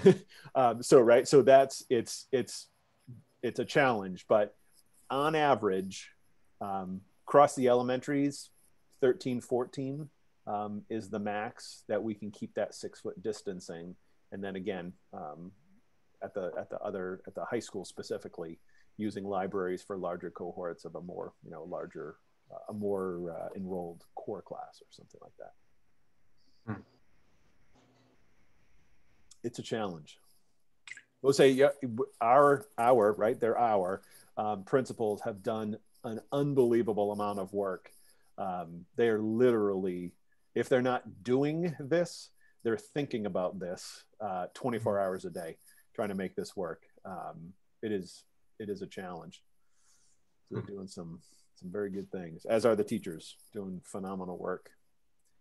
So there's 170 students less now because of, and is there a certain grade that is more like what can you identify where there are more students, less students like in elementary now, or is it middle school or high, high or the uh, high school level? Um, a lot of elementary left to go to uh, homeschool um, and private schools. Clark School in Rowley. So it's in Rowley. If you live in Rowley and attend Clark School, I forget the discount, but it's cheap, right? They have the, the kind of the hometown discount. So mm-hmm. large number uh, left Pine Grove uh, oh. over to the Clark School or homeschool. Um, and then from there, it's pretty much kind of across all the grade levels. Um, but the, the biggest chunk absolutely was was out of elementary. And Again. kindergartners just not coming in. I saw the stats today that um, statewide it's like almost 38,000 students that they're down overall, and they're estimating that 17,000 of those were either preschoolers or kindergartners yeah. that just held off this year. Yeah, it's just under 31,000. Yeah, so it's it's uh, eight eight mm. percent drop or eight nine yeah. percent drop in foundation enrollment in the state of Massachusetts. Oh, that's significant. We lost your audio, Brian. It's because I clicked mute. um, not sure what my hand is doing. Um, I'll pause there because one of the one of the changes is, and we've talked about it several times now, is that decrease enrollment. Um, the decrease in enrollment, I, I think specifically, we didn't unpack every single individual student, but that change from Rowley to Clark School um, was certainly a driver where Rowley saw the largest enrollment decrease. Uh, there is a movement, uh, I will say MASS, Mass Association of School Superintendents. Um, we, I met with um, the executive director, as well as a couple other folks and Senator Adam Hinds, and there's some other uh, senators and reps who are interested in, um, we're proposing that we actually use either fall of 2019 enrollments or spring of 2020 enrollments. So there are three SIMS counts taken each year. There's an October, a March, and a June. The mm. October one of every year does become foundation, and that's the driver for the next year's budget. So our fiscal 22 development is based off of October 1st of 2020. We know that that's a false number, right? That's a falsely deflated number. So and Narissa pointed out last night very eloquently, we where this year Rowley sees a decrease, so that inflates Salisbury's and Newbury's assessment. If it all settles back in, like we assume it will to some degree, not perfectly, but largely settles back in, mm-hmm. that means that the following year, Newbury and, and Salisbury see a call it a false deflation back down, and Rowley gets absolutely whacked. So there's there's significant value, right? Certainly, you're, it's the mantra that we've been talking about a three or five year rolling average. Remember that discussion? Um, talking about the regional agreement and and uh, changing our assessment formula and being creative and coming up with our own. I have some ideas. This uh, might help that. Yeah, right. So I think that you know it would have to be a statewide decision, but yeah. if that were to be the case, that would certainly um, that would certainly help that would change assessments, right? Rolling. That would level out assessments a little bit. Um, so we'll see. But I think it it certainly, depending on how this plays out, as you said, Peter, could be a motivating factor uh, for future discussions. Um, but that's I- think Hmm. there's there's definitely um, I will say more talk on January whatever it was 27th when the governor issued his budget about an early joint resolution than I've ever heard. Um, whether or not that comes to fruition, we'll see. Um, but any there's there's clearly uh, an understanding that cities and towns and schools, and certainly regional schools, um, need an early decision on this. We can't wait until June uh, because this number, obviously, we are the largest portion of your town budgets, and we can't really set a really accurate number and give you an accurate number until the state gives us an accurate number. So I'm hopeful. Um, Alice Peisch was quoted saying, "We will not be late with this year's budget." Um, Hmm. No other comment on that. Um, so yeah, so uh, so overall, um, that increase back to the the what uh, Kyle summarized, it's a one point roughly one point three million dollar increase. Again, that will drop another fifty thousand, so call it a one point two five million dollar increase um, when we back off that charter figure. Um, so that is the cost of level services. That's the cost of doing business next year. Again, one more time, I'll say it, based on pretending COVID didn't happen, and that we shift back uh, to a somewhat normal uh, September. So the next couple pages talk about, and I'll do this quickly, um, some strategic needs. Um, and these are, as I said, some born out of the pandemic, some a continuation. The first, not a new topic, not a new discussion. We talked about this earlier tonight. Uh, the second down payment, if you will, of universal free full day K. So this would add 75,000 and this would drop next year's full day K tuition from what it would have been this year. Instead of paying for full day K, it's uh, supporting half day sections, two of them in cohorts. Um, so let's just pause there. So the investment didn't go for no reason, right? So this year, it actually allowed us, without collecting tuition, uh, it helped offset the impact of we're bringing kindergarten students in every day, Tuesday through Friday, because um, certainly we know it's a challenge to learn remotely, but definitely for our youngest learners. So all students are coming in daily, either an AM or a PM. Um, so Kyle talked about added transportation. Um, and so, so that certainly we're not bringing in any tuition, but that 75,000 down payment from the current year's budget uh, helped offset that program. That's, that's absolutely benefiting our kindergartners. Assuming we go back to a regular fall schedule, additional 75 uh, would keep us on track. Tuition would go from uh, what it would have been this year of 2000 down to $1,000. And then uh, if we can do that one more time in fiscal 23 by September 22, we are free universal full day K.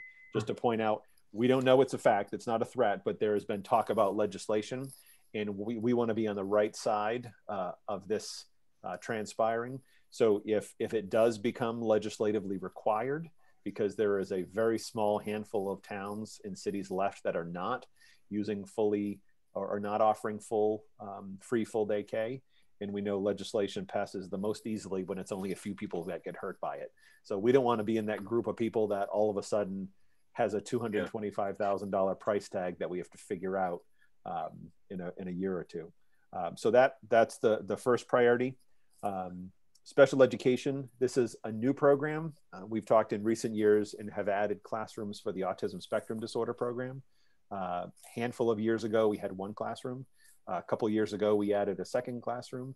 Uh, over the past couple years, we've added uh, behavioral specialists, BCBAs, and a third ASD classroom. Uh, we have uh, an emerging need for currently three or four students who have multiple, multiple very complicated disabilities on the medical nature. Um, and so we are proposing setting up a classroom that would allow those students to be to be educated within their community. Um, it would likely be at Newbury. I mentioned that Newbury Elementary uh, has the most available space. Uh, it also works well because it's the central school. So if students are coming from the other elementaries, it's, uh, it, it works universally. Um, so what this would be, it would be an, one staff member, one professional educator licensed uh, with severe special needs uh, licensure, uh, as well as some, some programming and supplies and materials setup costs uh, to establish that classroom. These students have IAs currently, um, so they would come with their IA. Um, and it's important to note that this is, as we talked about this last night, this is a this is a must do, right? We we put this in the section because it's not a have to do. Um, but if any one of these three or four students uh, were to be placed in an outside placement, it would likely far exceed one of them would likely far exceed the hundred thousand dollar price tag uh, for setting up this program. So we believe the right thing to do because it's the right thing to do for these students is to set up the program internally. Um, but from, if we want to look just at the dollars, uh, those those three or four students could easily cost us a half a million dollars hmm. uh, if they were to be outplaced. So that is new so spending. Total is supposed to be a hundred thousand. Total is one hundred thousand. Hundred dollars. Yes, it is. Thank you, Larry. It's missing a zero, so it's that's a comma, but we're missing a zero there. Hmm. Thank you. Yes, we added a hundred thousand just for the record. I'm sure that wouldn't have slipped by you. Yeah, I appreciate that, and you are correct. um, do any questions about that? I feel like that's a discussion we unfortunately have year over year um, for varying needs. Um, curriculum instruction, I won't go into this in great detail. This is actually an upgrade for our K through six Math in Focus.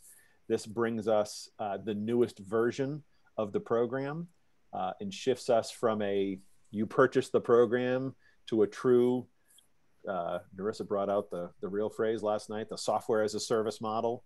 So it becomes an annual subscription. So there's a one time cost of, of added $42,000 setup, materials, um, training. After that, it goes back to the, the set budget uh, overall. So this would be uh, one of the areas that we uh, targeted to use those ESSER 2 funds. So in the summary total uh, that we'll talk about in a second, this $42,000 is taken off the table because we're going to commit to that using those ESSER 2 funds. Um, technology, there's actually two positions here, so it's a total of 156,107. Um, there is a technician and there is a, an instructional technology specialist. No, it's a technology integration specialist. Um, the long and the short of it is last year we had a thousand less devices that our tech department had to support. A thousand devices is a lot of devices. Um, add on to that, we've added cameras and um, Jamboards and these things that I don't even know what they do yet, um, but some amazing technologies um, and one of the, again, let's go back to the silver linings of this. Um, had so many conversations with teachers who have talked about so excited to realize, I don't think they realized in all this that this, this long-term commitment to a one-to-one initiative means that after the pandemic, we still have this in play. Um, and it's changing the way we educate students. Um, certainly into the future, we don't, we don't want to see them on the other side of a screen. So we're not going to be in remote learning, um, but having all students with a universal Chromebook piece of technology in their hands uh, is a significant um, step forward. And it was something that a year ago when we were getting ready to uh, uh, present, Kim and the gang was getting Deb were ready to present the technology plan. It was a pipe dream. Um, mm -hmm. So that, again, silver lining uh, became a reality. But um, teachers are depending on this technology now more than ever.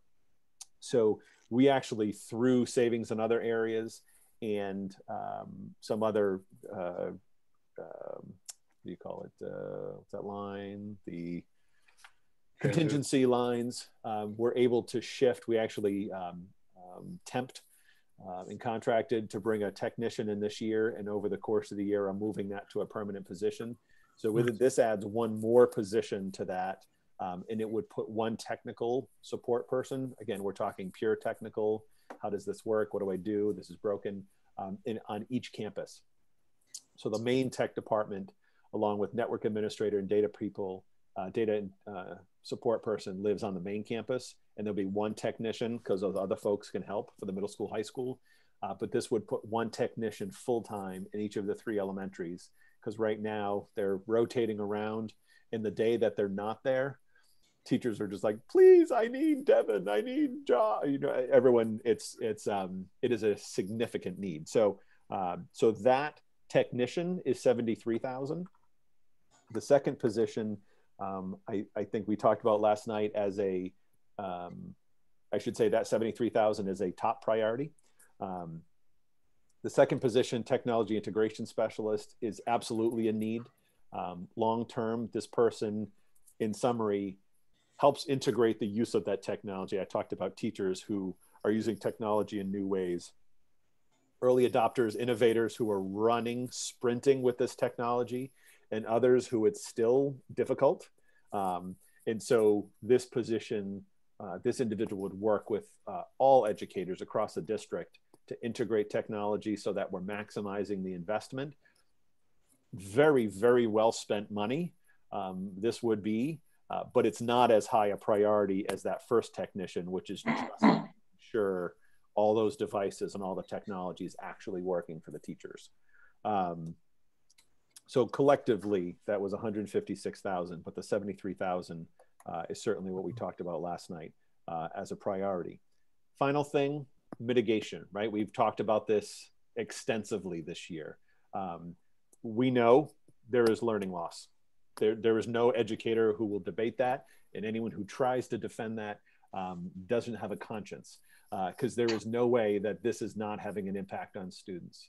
Um, so we need to we need to name that, we need to own that, uh, and we need to prepare for uh, doing what we can to support our students so when they come back in the fall, they're ready to learn. So the first two buckets, um, Kim spoke about that again, not feeling well, so isn't here to do that tonight, but uh, Kim talked extensively about the thinking, and there's we put this in as a placeholder uh, because we're not exactly sure how this will play out.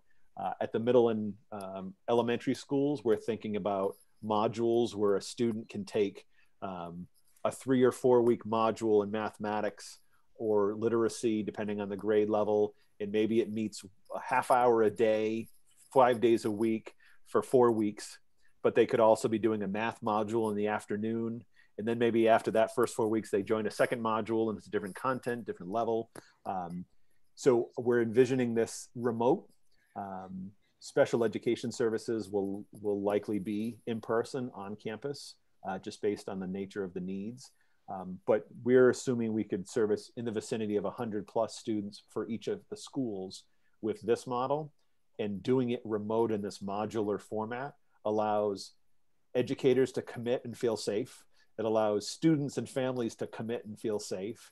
And it allows families, if they have a cabin up north that they're going to go hide in the woods, great. You can still hop on for a half hour in the morning, get your instruction with your teacher. Um, so, again, that's not concrete. Um, have a lot of work to do with administrators and teachers to figure that out.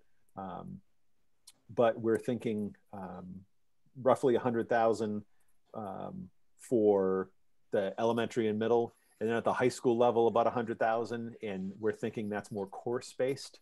Um, so you've, you've heard the term credit recovery. Uh, nothing wrong with credit recovery. Uh, the better solution is giving students an opportunity to take a full course.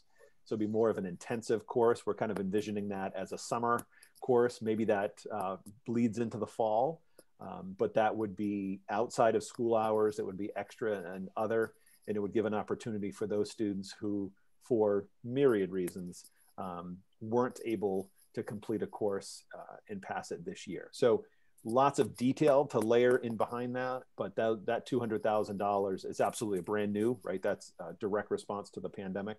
Um, and that's the second uh, chunk of funds uh, that we anticipate that we're, uh, as of last night, agreed that we're going to earmark that uh, as part of those ESSER 2 funds. So that's the 242 this 200 plus the 42 for the curriculum that we took off the top um, to say that's a valid use. It's one time. It is in fiscal 22, likely the, the front side of fiscal 22, summer and into the fall.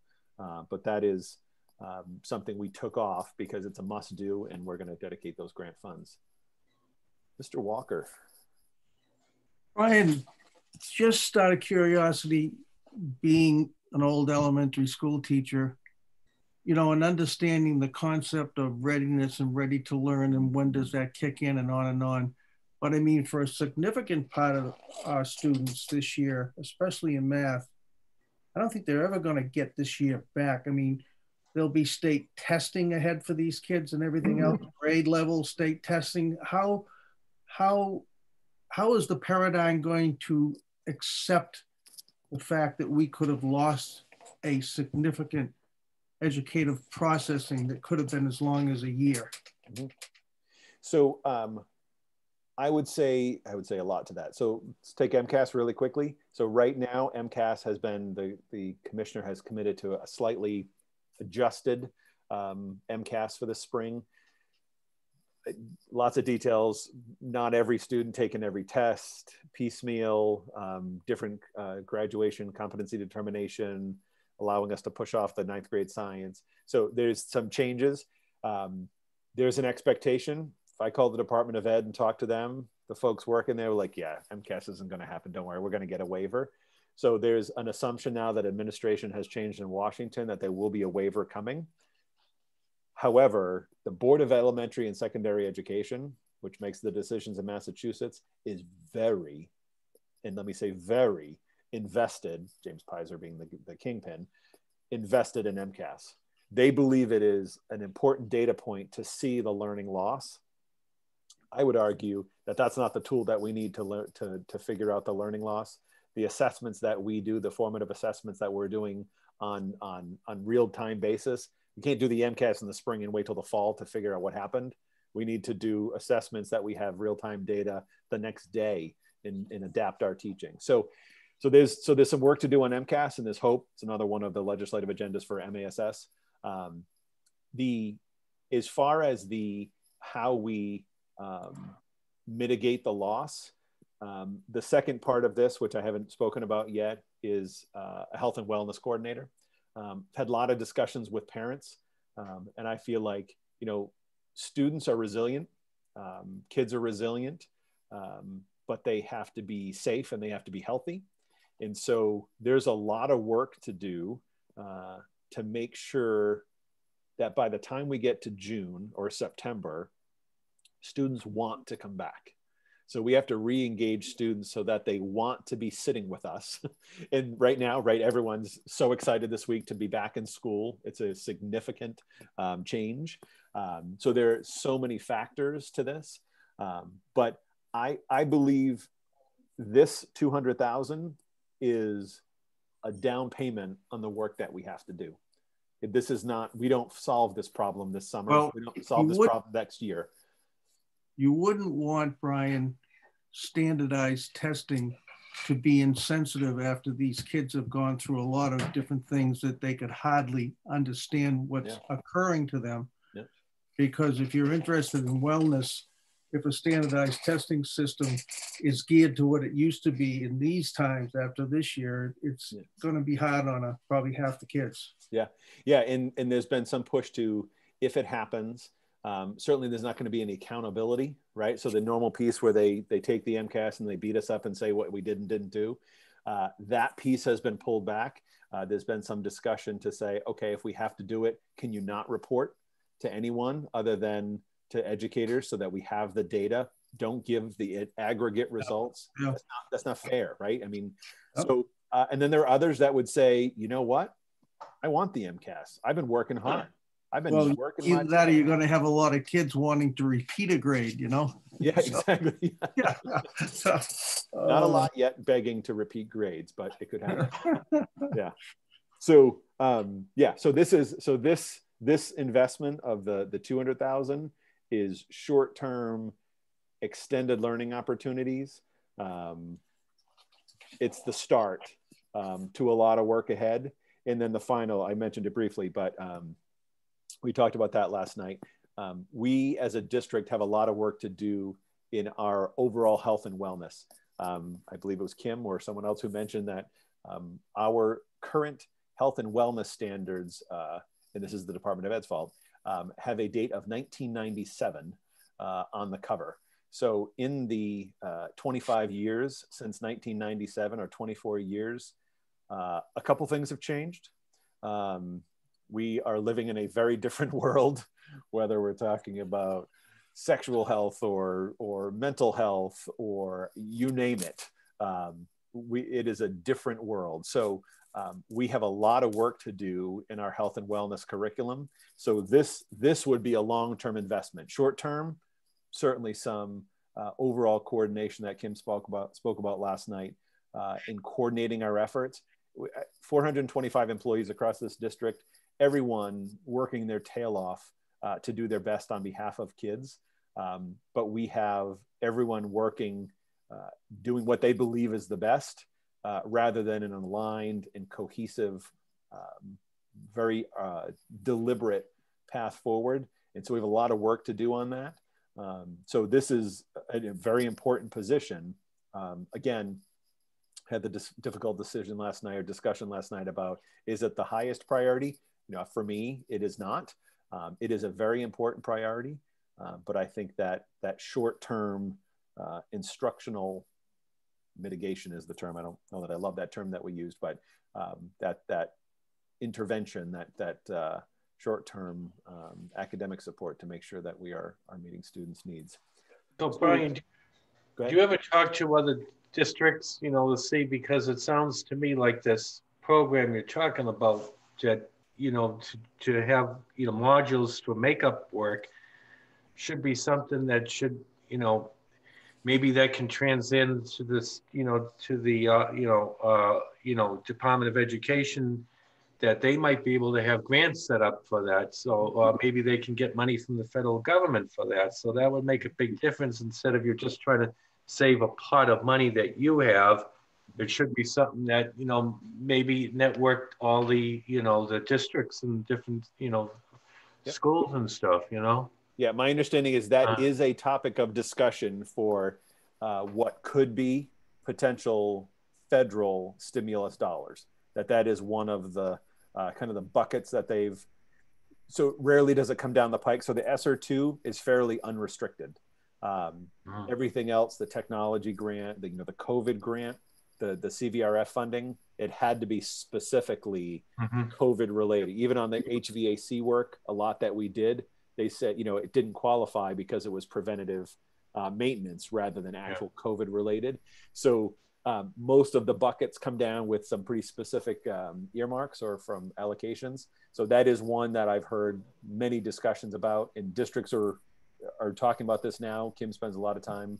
You know, we all spend a lot of times in our kind of our regional cohorts. We have a North Shore Roundtable, um, and the assistant superintendents have a group, and the superintendents have a group, and so that's that's been a hot topic for sure, um, and one of the things that MASS is certainly advocating for.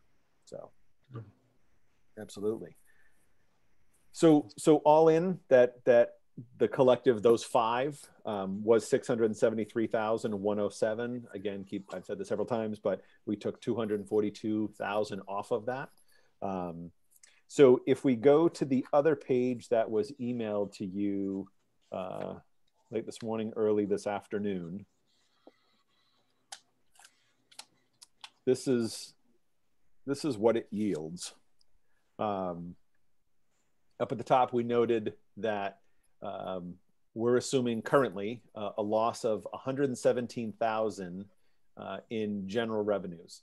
So that's about 85, Kyle, in regional transportation, uh, about 25 in um, interest income. I'm assuming the towns are dealing with the same thing.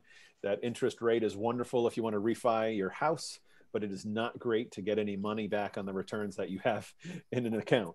Um, so dropping our uh, interest assumptions down 25,000, it's about 85,000 loss in regional transportation, and then about 5,000 that we lose in chapter 70. So the governor's chapter 70 figure, um, you remember we lost about $68,000 this year. We basically get that back shy of about $4,800, $4,900. Um, so the second, and I mentioned this already, that we know we talk about this every year.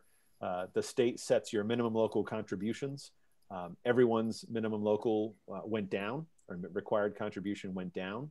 Um, that's based on a decrease in enrollment as well as all the other factors that we've uh, gone over uh, extensively. So um, the shift in enrollment, um, again, in the budget document um, uh, in a couple weeks, we'll have all the detailed line items um, with all the, the prior enrollments and the changes. But uh, Newbury went from, uh, they're actually increased a proportional share. So they were, um, I think it was 28.69% um, last year. So they're up a little over a tenth of a percent. Uh, Rowley is down almost nine tenths of a percent in the uh, share of the district budget, and Salisbury is up almost three quarters of a percent. Uh, so we've talked about we've the last couple of years we've talked about Salisbury approaching 40% of the district share. Um, with this change in the enrollment, um, Salisbury hit it this year. So again, this is an area that uh, there's going to be some advocacy and hope that uh, the state does something. Huge push um, across the state to to not use September or October of uh, 2020. Uh, any of the urban, eh, you know, any of the urban districts where they they see significant money um, through the Student Opportunity Act, and that's largely uh, dependent on enrollment um, for various uh, calculations. Uh, a huge hit. So there is a big push um, to streamline the enrollment. So that would adjust uh, these these uh, proportional shares. Um, Salisbury is still the biggest, right? So it would be more like 39 rather than 40 or upper 39, up 39 plus. Um, so Salisbury is still going to have the largest percentage uh, of the increase. It's it, it, would be no drastic change, um, but it would provide a little bit of smoothing for um, for the three towns. So the first box, one million two ninety eight nine seventy seven. Um, we like to point this out every year. The actual increase in spending for level services is 2.92%.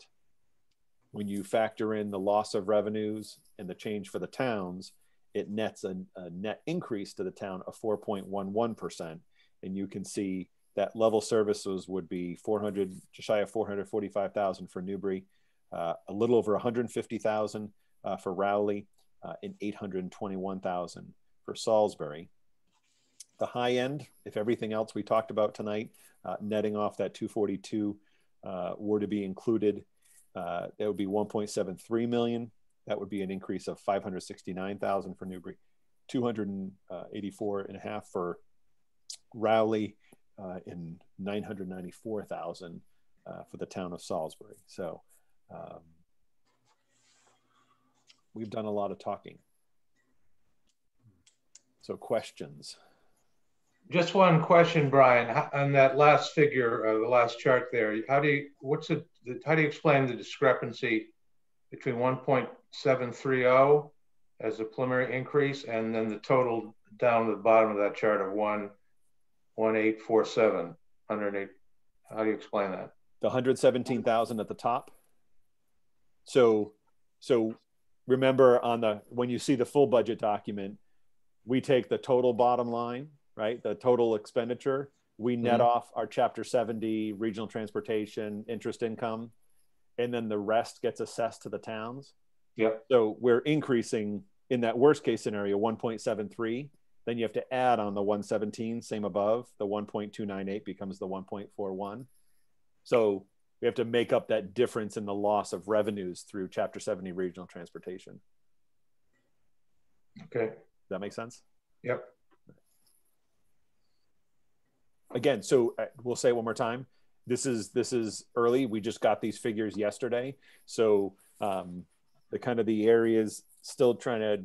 My understanding is is circuit breaker isn't fully funded um, in the governor's budget.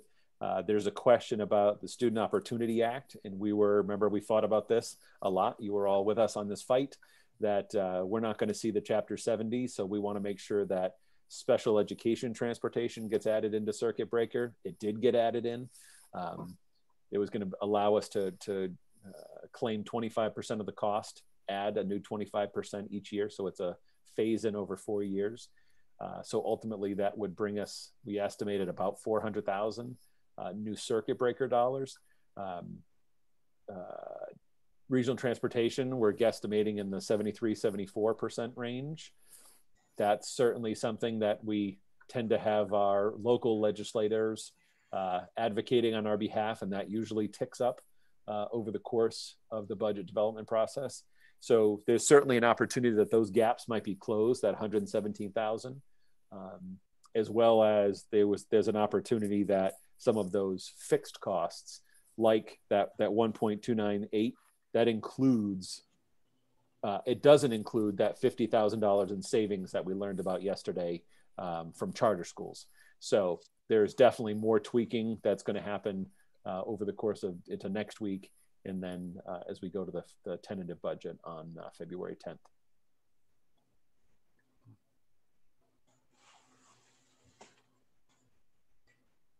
Other questions? Comments? So you're saying that there's talk of legislation that would change these this uh, apportionment process from uh, using different enrollment dates? Is that going to be in a, would that be in effect for the next fiscal year? It, it would be, yeah. So if, yeah, so if it's, it's not going to affect these this calculation here. I'm sorry, no, it would be it would affect this calculation. So it's it's short term legislation. We'll see. It would have to be very fast tracked uh, oh, in okay. order for that to be changed, um, but it would be done through the budgeting process. So basically, it's not separate legislation changing laws. It's just basically within the budget process, changing how that minimum local contribution and uh, is factored. Yeah. So, so, I talked to a couple people today, and um, basically, when when the House and the Senate passed their budgets, they passed policy sections along with that.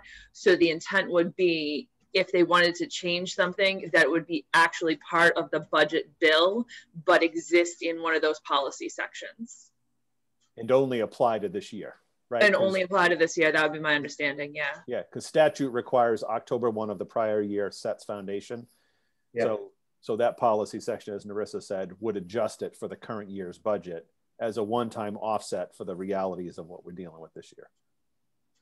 So again, it would it would smooth that a somewhat, right? Salisbury is still going to be significantly higher. Newbury is going to be the second highest, and Rowley, right? We know Rowley is going to have the best year this year. Um, but it would it would spread that out a little bit um, a little bit more and it would offset what we know or what we anticipate would happen in 23 when the enrollments in Rowley go back up and then Rowley would get hit and then Salisbury and Newbury would come down. So it basically smooths 22 and 23 um, somewhat. Okay. So historically, the um, Bruce and the and the House and the Senate have added um, regional transportation, and you know they've put monies into the budget to help us go up. Is that? Are you hearing? I haven't been following. Are you hearing at the state level that that that's not going to happen because of COVID this year, and there's other priorities, or is that still a possibility? so I don't know what Brian's heard, but what I, I mean, this is brand new. So my everything I heard today was that they're still trying to figure out where the numbers are at um, because the it's particularly on the Senate side. They're the ones that typically do the increases. Um, they're always aiming for percentage reimbursements, but what comes across in the budget is dollar values. And it's not easy to get from those dollar values to understand what the percentage reimbursement that they usually, that they kind of benchmark um, their changes off of. Um, so my understanding right now is that there's people are essentially running around contacting DESE and DOR to figure out when you're you know sitting there with a line item value of 25 million dollars and there are maybe three different calculations that feed into that how much is allocated to each calculation and and and how is that um, you know uh, what what type of a percentage reimbursement are you actually looking at there? Um, so I, I don't think they know right now how far they you know off they they they would be. Um, but i you know i think that the Senate in particular. The House is a little harder because it's big, um, but the Senate is a little easier. They're late in the process. Um, you know, I don't know how much more future revenue projections could affect them, but I think right now, you know, they're they're definitely seeing some opportunities. Some of them are already calling for, you know, more of an implementation of the Student Opportunity Act, and if they can afford that, they can definitely afford some additional regional transportation. Yeah, and what about on the cir circuit breaker? Same thing. Yeah, that breaks down in multiple ways. So it's hard to know because part of circuit breaker goes back to actually funding DESE functions and some of it's going out to districts and it's it's not easy, you know, until they have that breakdown and know exactly what it looks like, I think, to know where they're going. Like Brian said, we're kind of hearing that it's probably underfunded, but it, it's so we have to just wait and see. Yeah, so there's room. I mean, I think that's so that you remember uh, Bruce appointed me to that whatever it's like a 72 different names transportation commission. Oh i forgot about that yeah. Yeah it was good times. So it was with it was co-chaired by alice peisch and adam Hinds. Um, alice is obviously education uh, adam is not. Um, that report was released and it said um, how do i surprise that nothing. Um, it was literally no new information and it was this is being recorded, right? So, and I went toe to toe with Alice, and she doesn't believe in regional transportation. Flat out, she said it, right? It's not fair that you get money and I don't. Wellesley suffering. Um, so it's it is just um, Adam Hinds, however, is a senator and represents literally. Uh, is it 40% of the square miles in the state? Literally, West Worcester West. He is the only senator, just based on populations and enrollments so his territory, it would take him a day and a half to drive around his territory. Um, super invested guy. Um, MASS is actually, I met with uh, Mary Bourque, former uh, superintendent Chelsea, is now legislative director for MASS. And we met with him today because we're saying, okay, so someone who has a lot of square footage as far as representation, um, again, Western, rural, not, not as much say, uh, but trying to, to build the understanding that it's small dollars to invest in things like regional transportation, rural school aid. Um, uh, but when we get behind, when the legislature gets behind that and those kind of funding mechanisms, you know, small dollars make huge impacts. Um, so, so I'm I'm hopeful um, that this that 117 um, is is a worst case scenario, and likewise um, that our our set costs um, may go down somewhat. Remember, if we get more circuit breaker, then that $200,000 increase for special education out of district goes down because circuit breaker is offsetting that as well. And I noted that if the Student Opportunity Act is funded in that circuit breaker um, funding is included in that SOA calculation, we would have gotten 100,000 this year and another 100,000 next year. So if they were to fully fund whatever that means, that that could be another hundred to two hundred thousand dollars that would offset those out of district costs. So there's um, there's there's definitely room um, and definitely reason to continue lobbying our our legislators. So we're All right, good. Are meeting. Uh, what's tomorrow? Two weeks from tomorrow, um, North Shore Roundtable is meeting with all our legislators. So it's the five that we know, and then our, our uh, North Shore Roundtable goes as far south as um, Lynn, Chelsea, yeah. Um, so it's it's a good, strong representation. Paul Tucker, so some names that were involved. Um, so we're hopeful. I know I've spoken with a few of our regulars, Diana and Elkhorst, and so I'm yeah. I'm, I'm hopeful. So is there? Is there also talk more talk about because when I was battling this at the MMA level, um, talk about aid, aid, you know, rural, rural aid, um, rather than plug it with the education, they wanted to plug it with, you know, that way. Any more talk about that rural aid? So it's still a topic of discussion. Um, I know there, we were originally, I was involved with that because we were originally like a tier five, I forget exactly the coding, uh, rural aid. We're now not in the kind of the latest iteration of rural aid. We don't qualify. um, and would not receive that. So there is rural aid in the budget. Um, it's been included. It's not a huge amount of money, and it's going to the the truly rural districts. Out in the west, yeah. Yeah. So there is. So where does that leave us?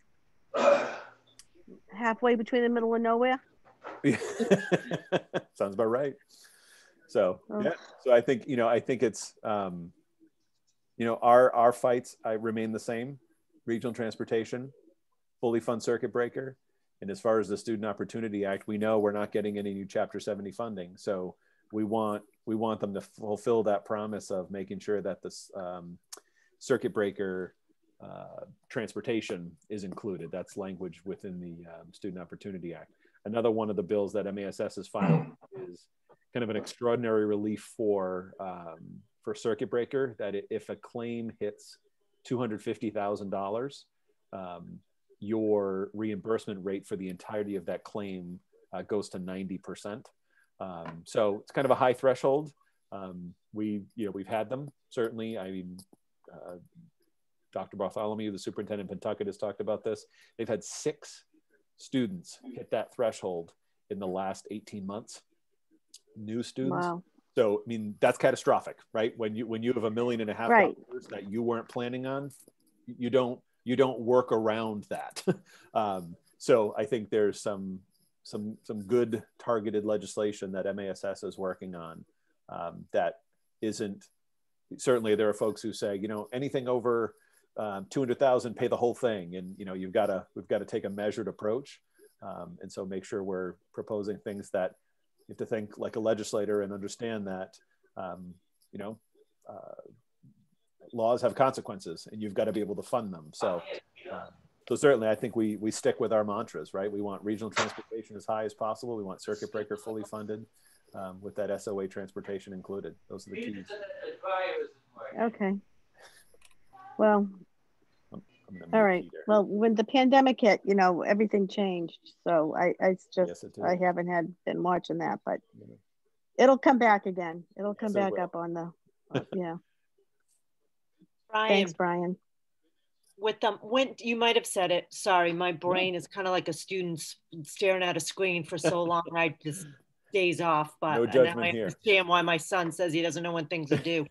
um, so enrollment assessments. When did you say that that may get washed out as far as what that will look like? Um, I know you talked about that right now. Salisbury's at 40.08, but it could potentially, if we really look at what Rowley will be in a year, and I truly believe that will be the case. Um, do we have an approximately approximate date? And again, I apologize if you said yeah that. no i didn't say i mean it's it is completely uh, if it were going to change it would be finalized with the budget right? So that would be approved uh, june 30th technically right? June 29th so it could be joint resolution.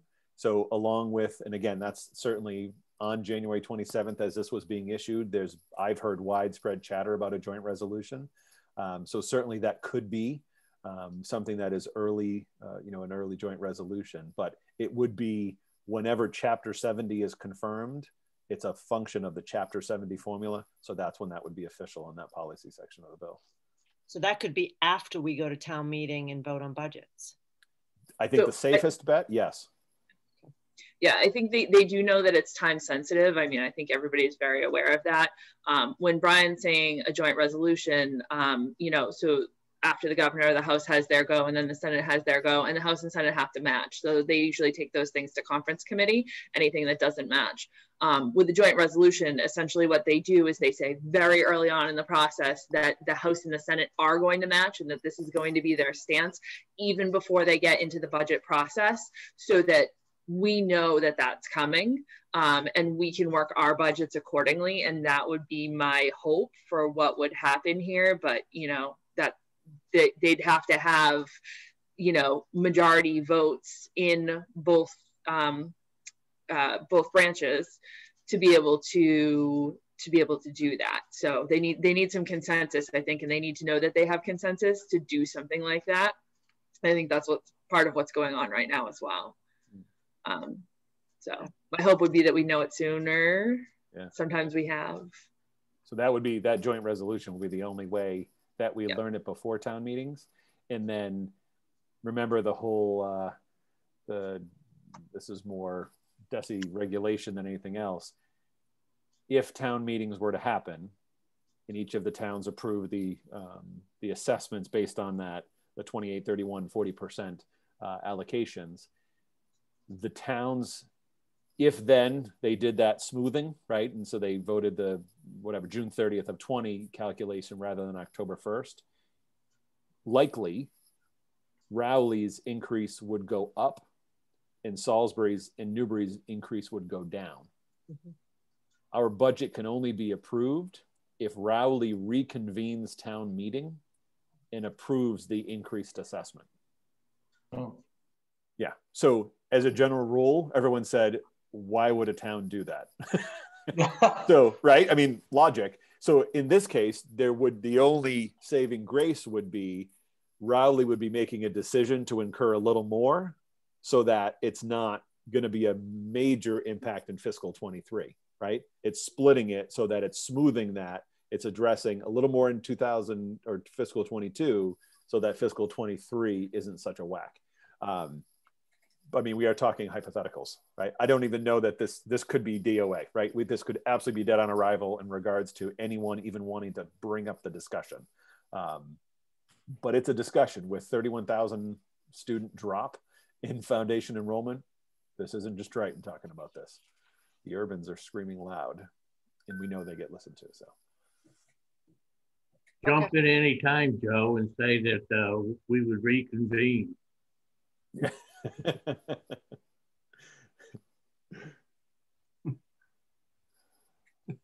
but then remember the next year, Larry, you're hurting hard. So, you right. know, and, and, we will, and, and then Salisbury actually will be looking much better the following year. So yeah.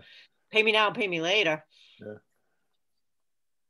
Yeah, I, I, can say when we were, when these first numbers first came out, we were seeing the, the final ones um, in the the worksheets. That uh, uh, the rest of the funding, you know, it, it kind of is what it is. But but that gave me kind of the biggest uh, this is what i'm going to lay awake at night thinking about is um, just what happens in the future because I, I just feel like the backlash on that could be could be really tough so what kind of backlash i don't think you said uh, talking about having all those students come back um, yeah. you know next year um, because that would cause everything to shift again. So, you know, obviously, when you have a really hard year in your town budget, which an increase on the district side can definitely cause you to have, right? That makes it, that's not just usually rough that year, that's usually rough for a couple years going forward. So that means that we're potentially dealing you know or not us but the the assessment methodology is dealing multiple towns really hard blows um, over multiple years. You know you you would have an easy year this time but i, I can say in rowley i know of an entire um, neighborhood where i'm going to guess 70 to 80 percent of the kids went to clark right? And those parents are now paying those tuitions but it's I, it doesn't seem to be a long term you know investment that they're going to make from the ones that i'm i'm speaking with. Mm-hmm. so you know if those are all coming back then let me just go pull the numbers real quick um, so Rowley's down 70 kids this year. Um, so if you have 60 of those come back next year and it just shifts everything back in the other direction, that's mm. going to be painful mm. in Cliff, the assessments. Did you realize that Clark what they did? Do you? I, uh, I mean, what so mean? basically, Clark offered any Rowley resident, if they wanted to have their kids go to school all the time, ten thousand dollars off their tuition. And quite frankly, if I had an elementary school kid and I lived in Rowley, I'd be going. My kid would be going to Clark. No, I wasn't. I wasn't aware. Were you aware of that, Joe or Larry? That's news yeah. to me. I've, I've seen their their signs in front of houses all over town, but it didn't say anything about that. So. Yeah, no, and it's it's advertised all over the place. So I, I again, anybody I know who lives in Rowley, their kids are in Clark right now. So, um, and and the reality is, you they're still having to pay 10 grand a year or whatever it is close to 10 grand a year to go so yeah. are they going to be able to sustain that now for every year or then now when things back, come back to normal they say okay now we're going back the likelihood is a percentage of them will be coming back. Yeah. So Clark really kind of shifted some things for Rowley. They Yeah. did. Another thing you have to uh, concern yourself about is that uh, I don't know what method Clark used as far as a hybrid or remote or whatever. They're full time. They those Yeah. kids go to school full time. You can actually So do whatever you want at Clark. But basically, uh, Clark students are a year ahead of the Triton or PGS students. Uh, so why would a parent pull their children from Clark, send them to PGS, and basically uh, be a, a year behind? Clark is a year ahead of us. It sounds Mhm. like. Yeah. No, I wouldn't say that's that simple a correlation. No. Yeah, no. I wouldn't say that's true either. Any any parent that I have that's going there, they're basically doing what other fourth graders or fifth graders. But because you eventually realize you shouldn't be paying ten thousand dollars to send your kid to go to school when you could go to a perfectly good public school, that's what will happen. Two years from now, people will be broke. Mm-hmm. Yeah. That's what will happen. Mm-hmm. And I will say too, a lot of the families with multi um, school students um, that chose to send a younger student to Clark also chose to send older students to private school as well. So um, obviously Clark doesn't go that high, so they were looking at other private schools, but um, you know, it, it tended to be a family affair when it happened. Well, that's financially unsustainable for a lot of families over the long haul, over the 13 years. Yeah. So you will see it swing back. Right, but worth it for your kid to be in school full time if that's what you wanted. I could pay it for one year, but then after that, I'm Right. gonna go enough. Um, right. so- That's what I mean. It's not Right. sustainable. Yeah. Yeah. and, and some of them are because they offer all the modes some of them are remote um, you know i know families that are essentially not even living in state currently. Um, and they're attending remotely and um, you know Mm. but they knew that that remote model was going to be there where we were still settling ours you know coming into the into the fall because we didn't know what DESE was going to offer. We were still figuring out staffing and all that stuff was was still going on. So it was a sure thing versus um, you know not knowing for sure where we were at at that point Do we know the impact of the number of kids that went to the IC? Um, because here are a fair number of people who also who are not Rowley residents that are pulled their kids for IC because they were doing in person. Mhm. And no masks on their people who don't. playgrounds, by the way. Driving by, there's no masks anywhere outside. Um, so I would say in smaller numbers, but from anyone left from Salisbury or Newbury, that tended to be where they Where went. they went. I see. Yep. Same thing. And again, I've certainly not talked to all, um, but those that I've spoken to, it was a, a stopgap. Um, as Ronnie was saying, I want my child in school full time. I believe they should be. I'm going to pay the money for the year. Uh, I'm, I know there will be people who, wow, I really like the IC. It's great and will stay. Others who I know will be coming back. So I think it's a, it is, it is purely a guess at this point. But that Go the with the IC was definitely where they went. Yeah. a lot of the IC families, I don't think we're going to see that huge swing back Mhm. the way we'll see it from Clark. Yeah. Um, just those families made a longer term choice when they chose the IC, where the Clark, where I think Clark movers took a took a coupon deal for the year, and when that coupon runs out, I don't know if they'll if they'll they'll pay the full price. that phrase and Narissa saying, what was your phrase? You be what you want to be might be the two best descriptions I've heard so far tonight.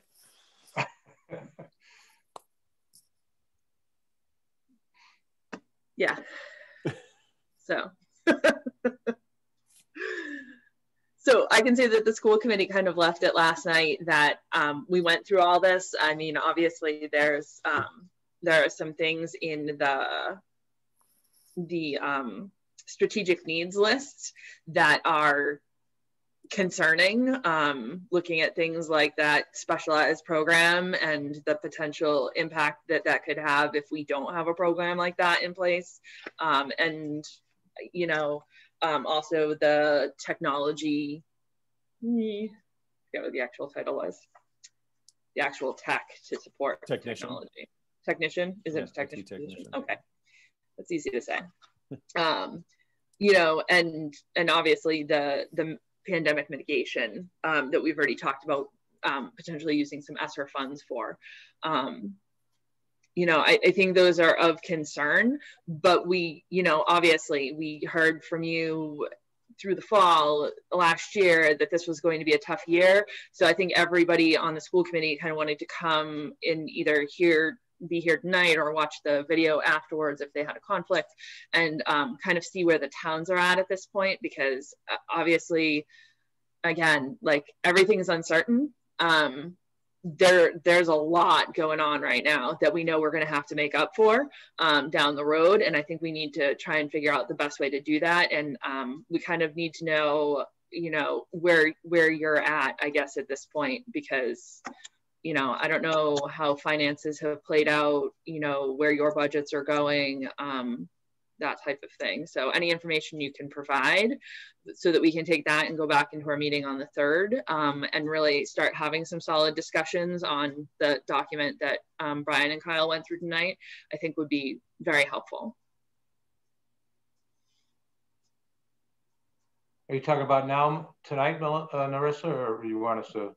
Yeah, no, I, I mean, I think anything you can provide tonight would be helpful. Um, we don't have another DCC on the books. Uh, I actually looked that up before we um, hopped on tonight. So I don't know if we want to schedule another one in between, but I, I feel like, um, I feel like this needs to be a very, uh, you know, as much as I would love every year to be a cooperative process, I feel like this year has to be a really cooperative process to, to keep on having these discussions because this is, this year is, I mean, even in some cases week to week stuff is cropping up and you know we don't know what we're going to be handed next it's been tumultuous to say the least yeah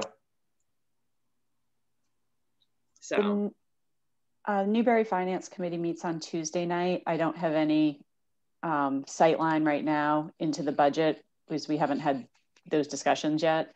But we do. I do know that we have a public meeting on via Zoom on Tuesday night next week. Okay. And I know that we're getting started into the process. Yeah, I was going to say the same thing. We haven't started our budget process yet, but Yeah, I don't Um, know what. We're, we're yeah, gonna start. I, I don't see this is going to be. I don't see this as a as a deal as a deal breaker for us. But again, I, we I have to look at it. And I'm sorry, Neil. Go ahead. Yeah, I reached out to Tracy and Marshall this afternoon and gave them the two different figures for Newbury's numbers, the high and the low arc, and I haven't heard back from them yet. Um, and then also just among parent parent chatter, the idea of those um, curriculum um, enhancements for the summer and the health and wellness, those are the two like of people who actually went in and read this document. Those are the things that they glommed onto as being a really um, great thing to hear after this year that has been so hard on students. So I can see that being something that parents might get vocal about. But just as a heads up of just what I've heard on the street, or not on the street because I don't go out, but on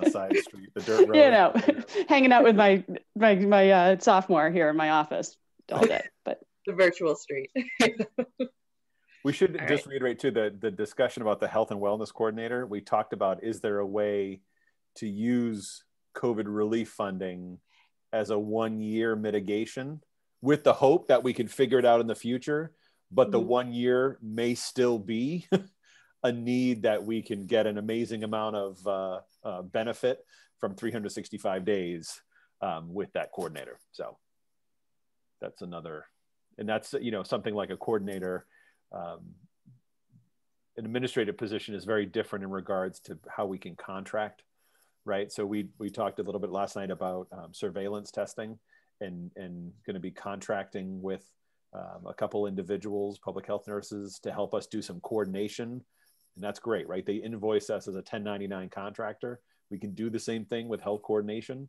Um, and it just gives us some flexibility in the short term. So that could be something if we can't figure it in the budget, that I think there's some capacity that we we've talked about prioritizing um, just the significance of the need, as you said, Erica. Yeah, I think to Larry's point earlier, I mean, we're trying to be as flexible with this as possible, but you know, everything we're having to weigh and it's impossible to know the impact. So we're just trying to make the best decisions we can on where where grants get used and um, you know what programs we enter into and things like that. Well, I think you could use that COVID money for that, Brian, you know, like you said, for a one-time deal and put some money aside for the following year because, I mean, yes, there's always been a need for, you know, uh, social support in, in, in the schools, but it is just drastic now compared because of the pandemic. Narissa, to answer your question with Salisbury, don't ask me why, but Neil just left. So, oh, was it something I said? He, he, text, he texted me and said okay. he had to leave. He had to, another appointment after. He had to leave shortly after nine. So I know that um, we all talked, and I know Chuck is still on here, but we all talked through email, and, and Neil said he was going to reach out to you, Brian, just to mm-hmm. give you some feedback and what his thoughts were. Yep. So from Salisbury, we will trust that you and Neil have great conversations to know mm-hmm. what what, what our financial picture looks like. Yeah, I mean, I can summarize what Neil said was basically looking at those figures in the 800,000, right? He, he, and I want to speak for Neil, but you know, he, as he said, the enrollment is the enrollment, right? That's a reality. It's, Salisbury is becoming a larger portion of the district, and that's not something we we can change. And he was comfortable with that. Um, a million dollars would be very difficult, were his words. Um, moving towards the 800,000 is something that is, is far more workable. Um, so I think, you know, certainly was no commitment, but that's, that was certainly his, he did point out that that, that upper end, anywhere near a million dollars is going to be very, very challenging. Okay. Yeah, and that's kind of what he said. Salisbury's such a great place to live. We can't help it. Are all these families moving in? That's right. So, stuff. Yeah, well, I'm glad he did relay that because he, I noticed he just logged off when we yeah. were on. He said goodbye. Tell him to stop the Salisbury advertising, okay? Yeah.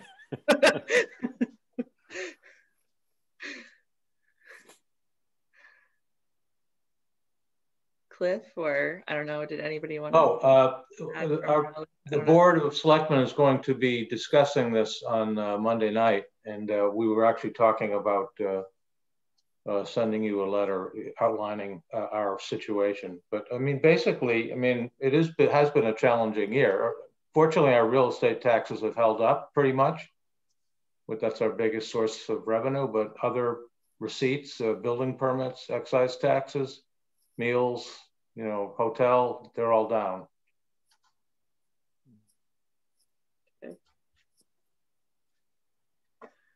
All right. I mean, we'll just continue with our process and, you know, I hopefully we can um, meet at some point in between. I don't know if it makes sense to try and squish something in the week of before the tentative.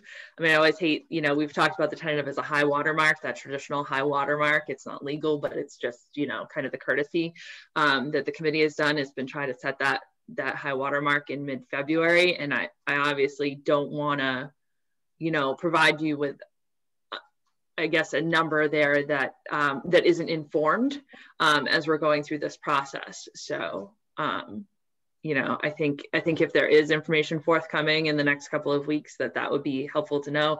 And maybe that's just an email. Maybe that isn't even a meeting. I don't know how how you want to go about doing that, but um, but I'm I'm open to thoughts. I just want to make sure that those lines of communications are open in a um, in an appropriate way. I guess. Oh, Erica, I think we can handle it with a an, e an email. Do you? An email? I think so. Yeah, I think we can all, after we talk to Tracy and talk amongst each other, I think we'll be know a little bit more. Okay. Emails work. Sounding like that's a good option. Yeah, that's fine. Okay. All right. Um, and we don't, I don't think we had another date on the books. I looked for ones just in the near, near future. Let's just see. Yeah, so. So the 10th of February is the preliminary and then 10th of March, is that the final? Yes, yeah, so we And have to have them certified by the 15th of each month. Okay. Um, so that's what we've done. Yeah, I'm just going through forward through um, through March and April, and we don't have any DCC dates on the calendar right now. We must have gone through the end of January and then said we'll figure it out from there. Um, so um, so I don't know if it makes some sense if we're going to do that by email to then kind of stick with our current DCC schedule and um, and look at maybe the 25th of February. That would be with keeping the schedule that we're at right now. That makes sense to me. Does it? Okay. Yeah. Working for everybody. And we can switch Yeah, off of so. a Thursday too. I was just kind of sticking there because that seemed to have worked for people. That's okay with me. Okay. I think it works. Yeah, I think, I think a Thursday is good because Rowley meets on a Monday, Newbury meets on a Tuesday, school committee meets on a Wednesday, that left Thursday. And I and I And think I- it's smoother too when, like Erica said, when you know Tracy start, you know Tracy will talk to Brian. You know there starts to be more communication, and everyone's aware of it. Finance committee heads into it. We we we get a sneaking of what's going on. It, it becomes Yeah, we haven't even gotten our budget books yet. yeah yeah. Yeah. Understood. I, I feel like this is a weird year for everybody anyway, you know? Yes, it is. Far from normal. For sure. so, okay. All right. Mm-hmm. Let's plan on the 25th at 6.30 then.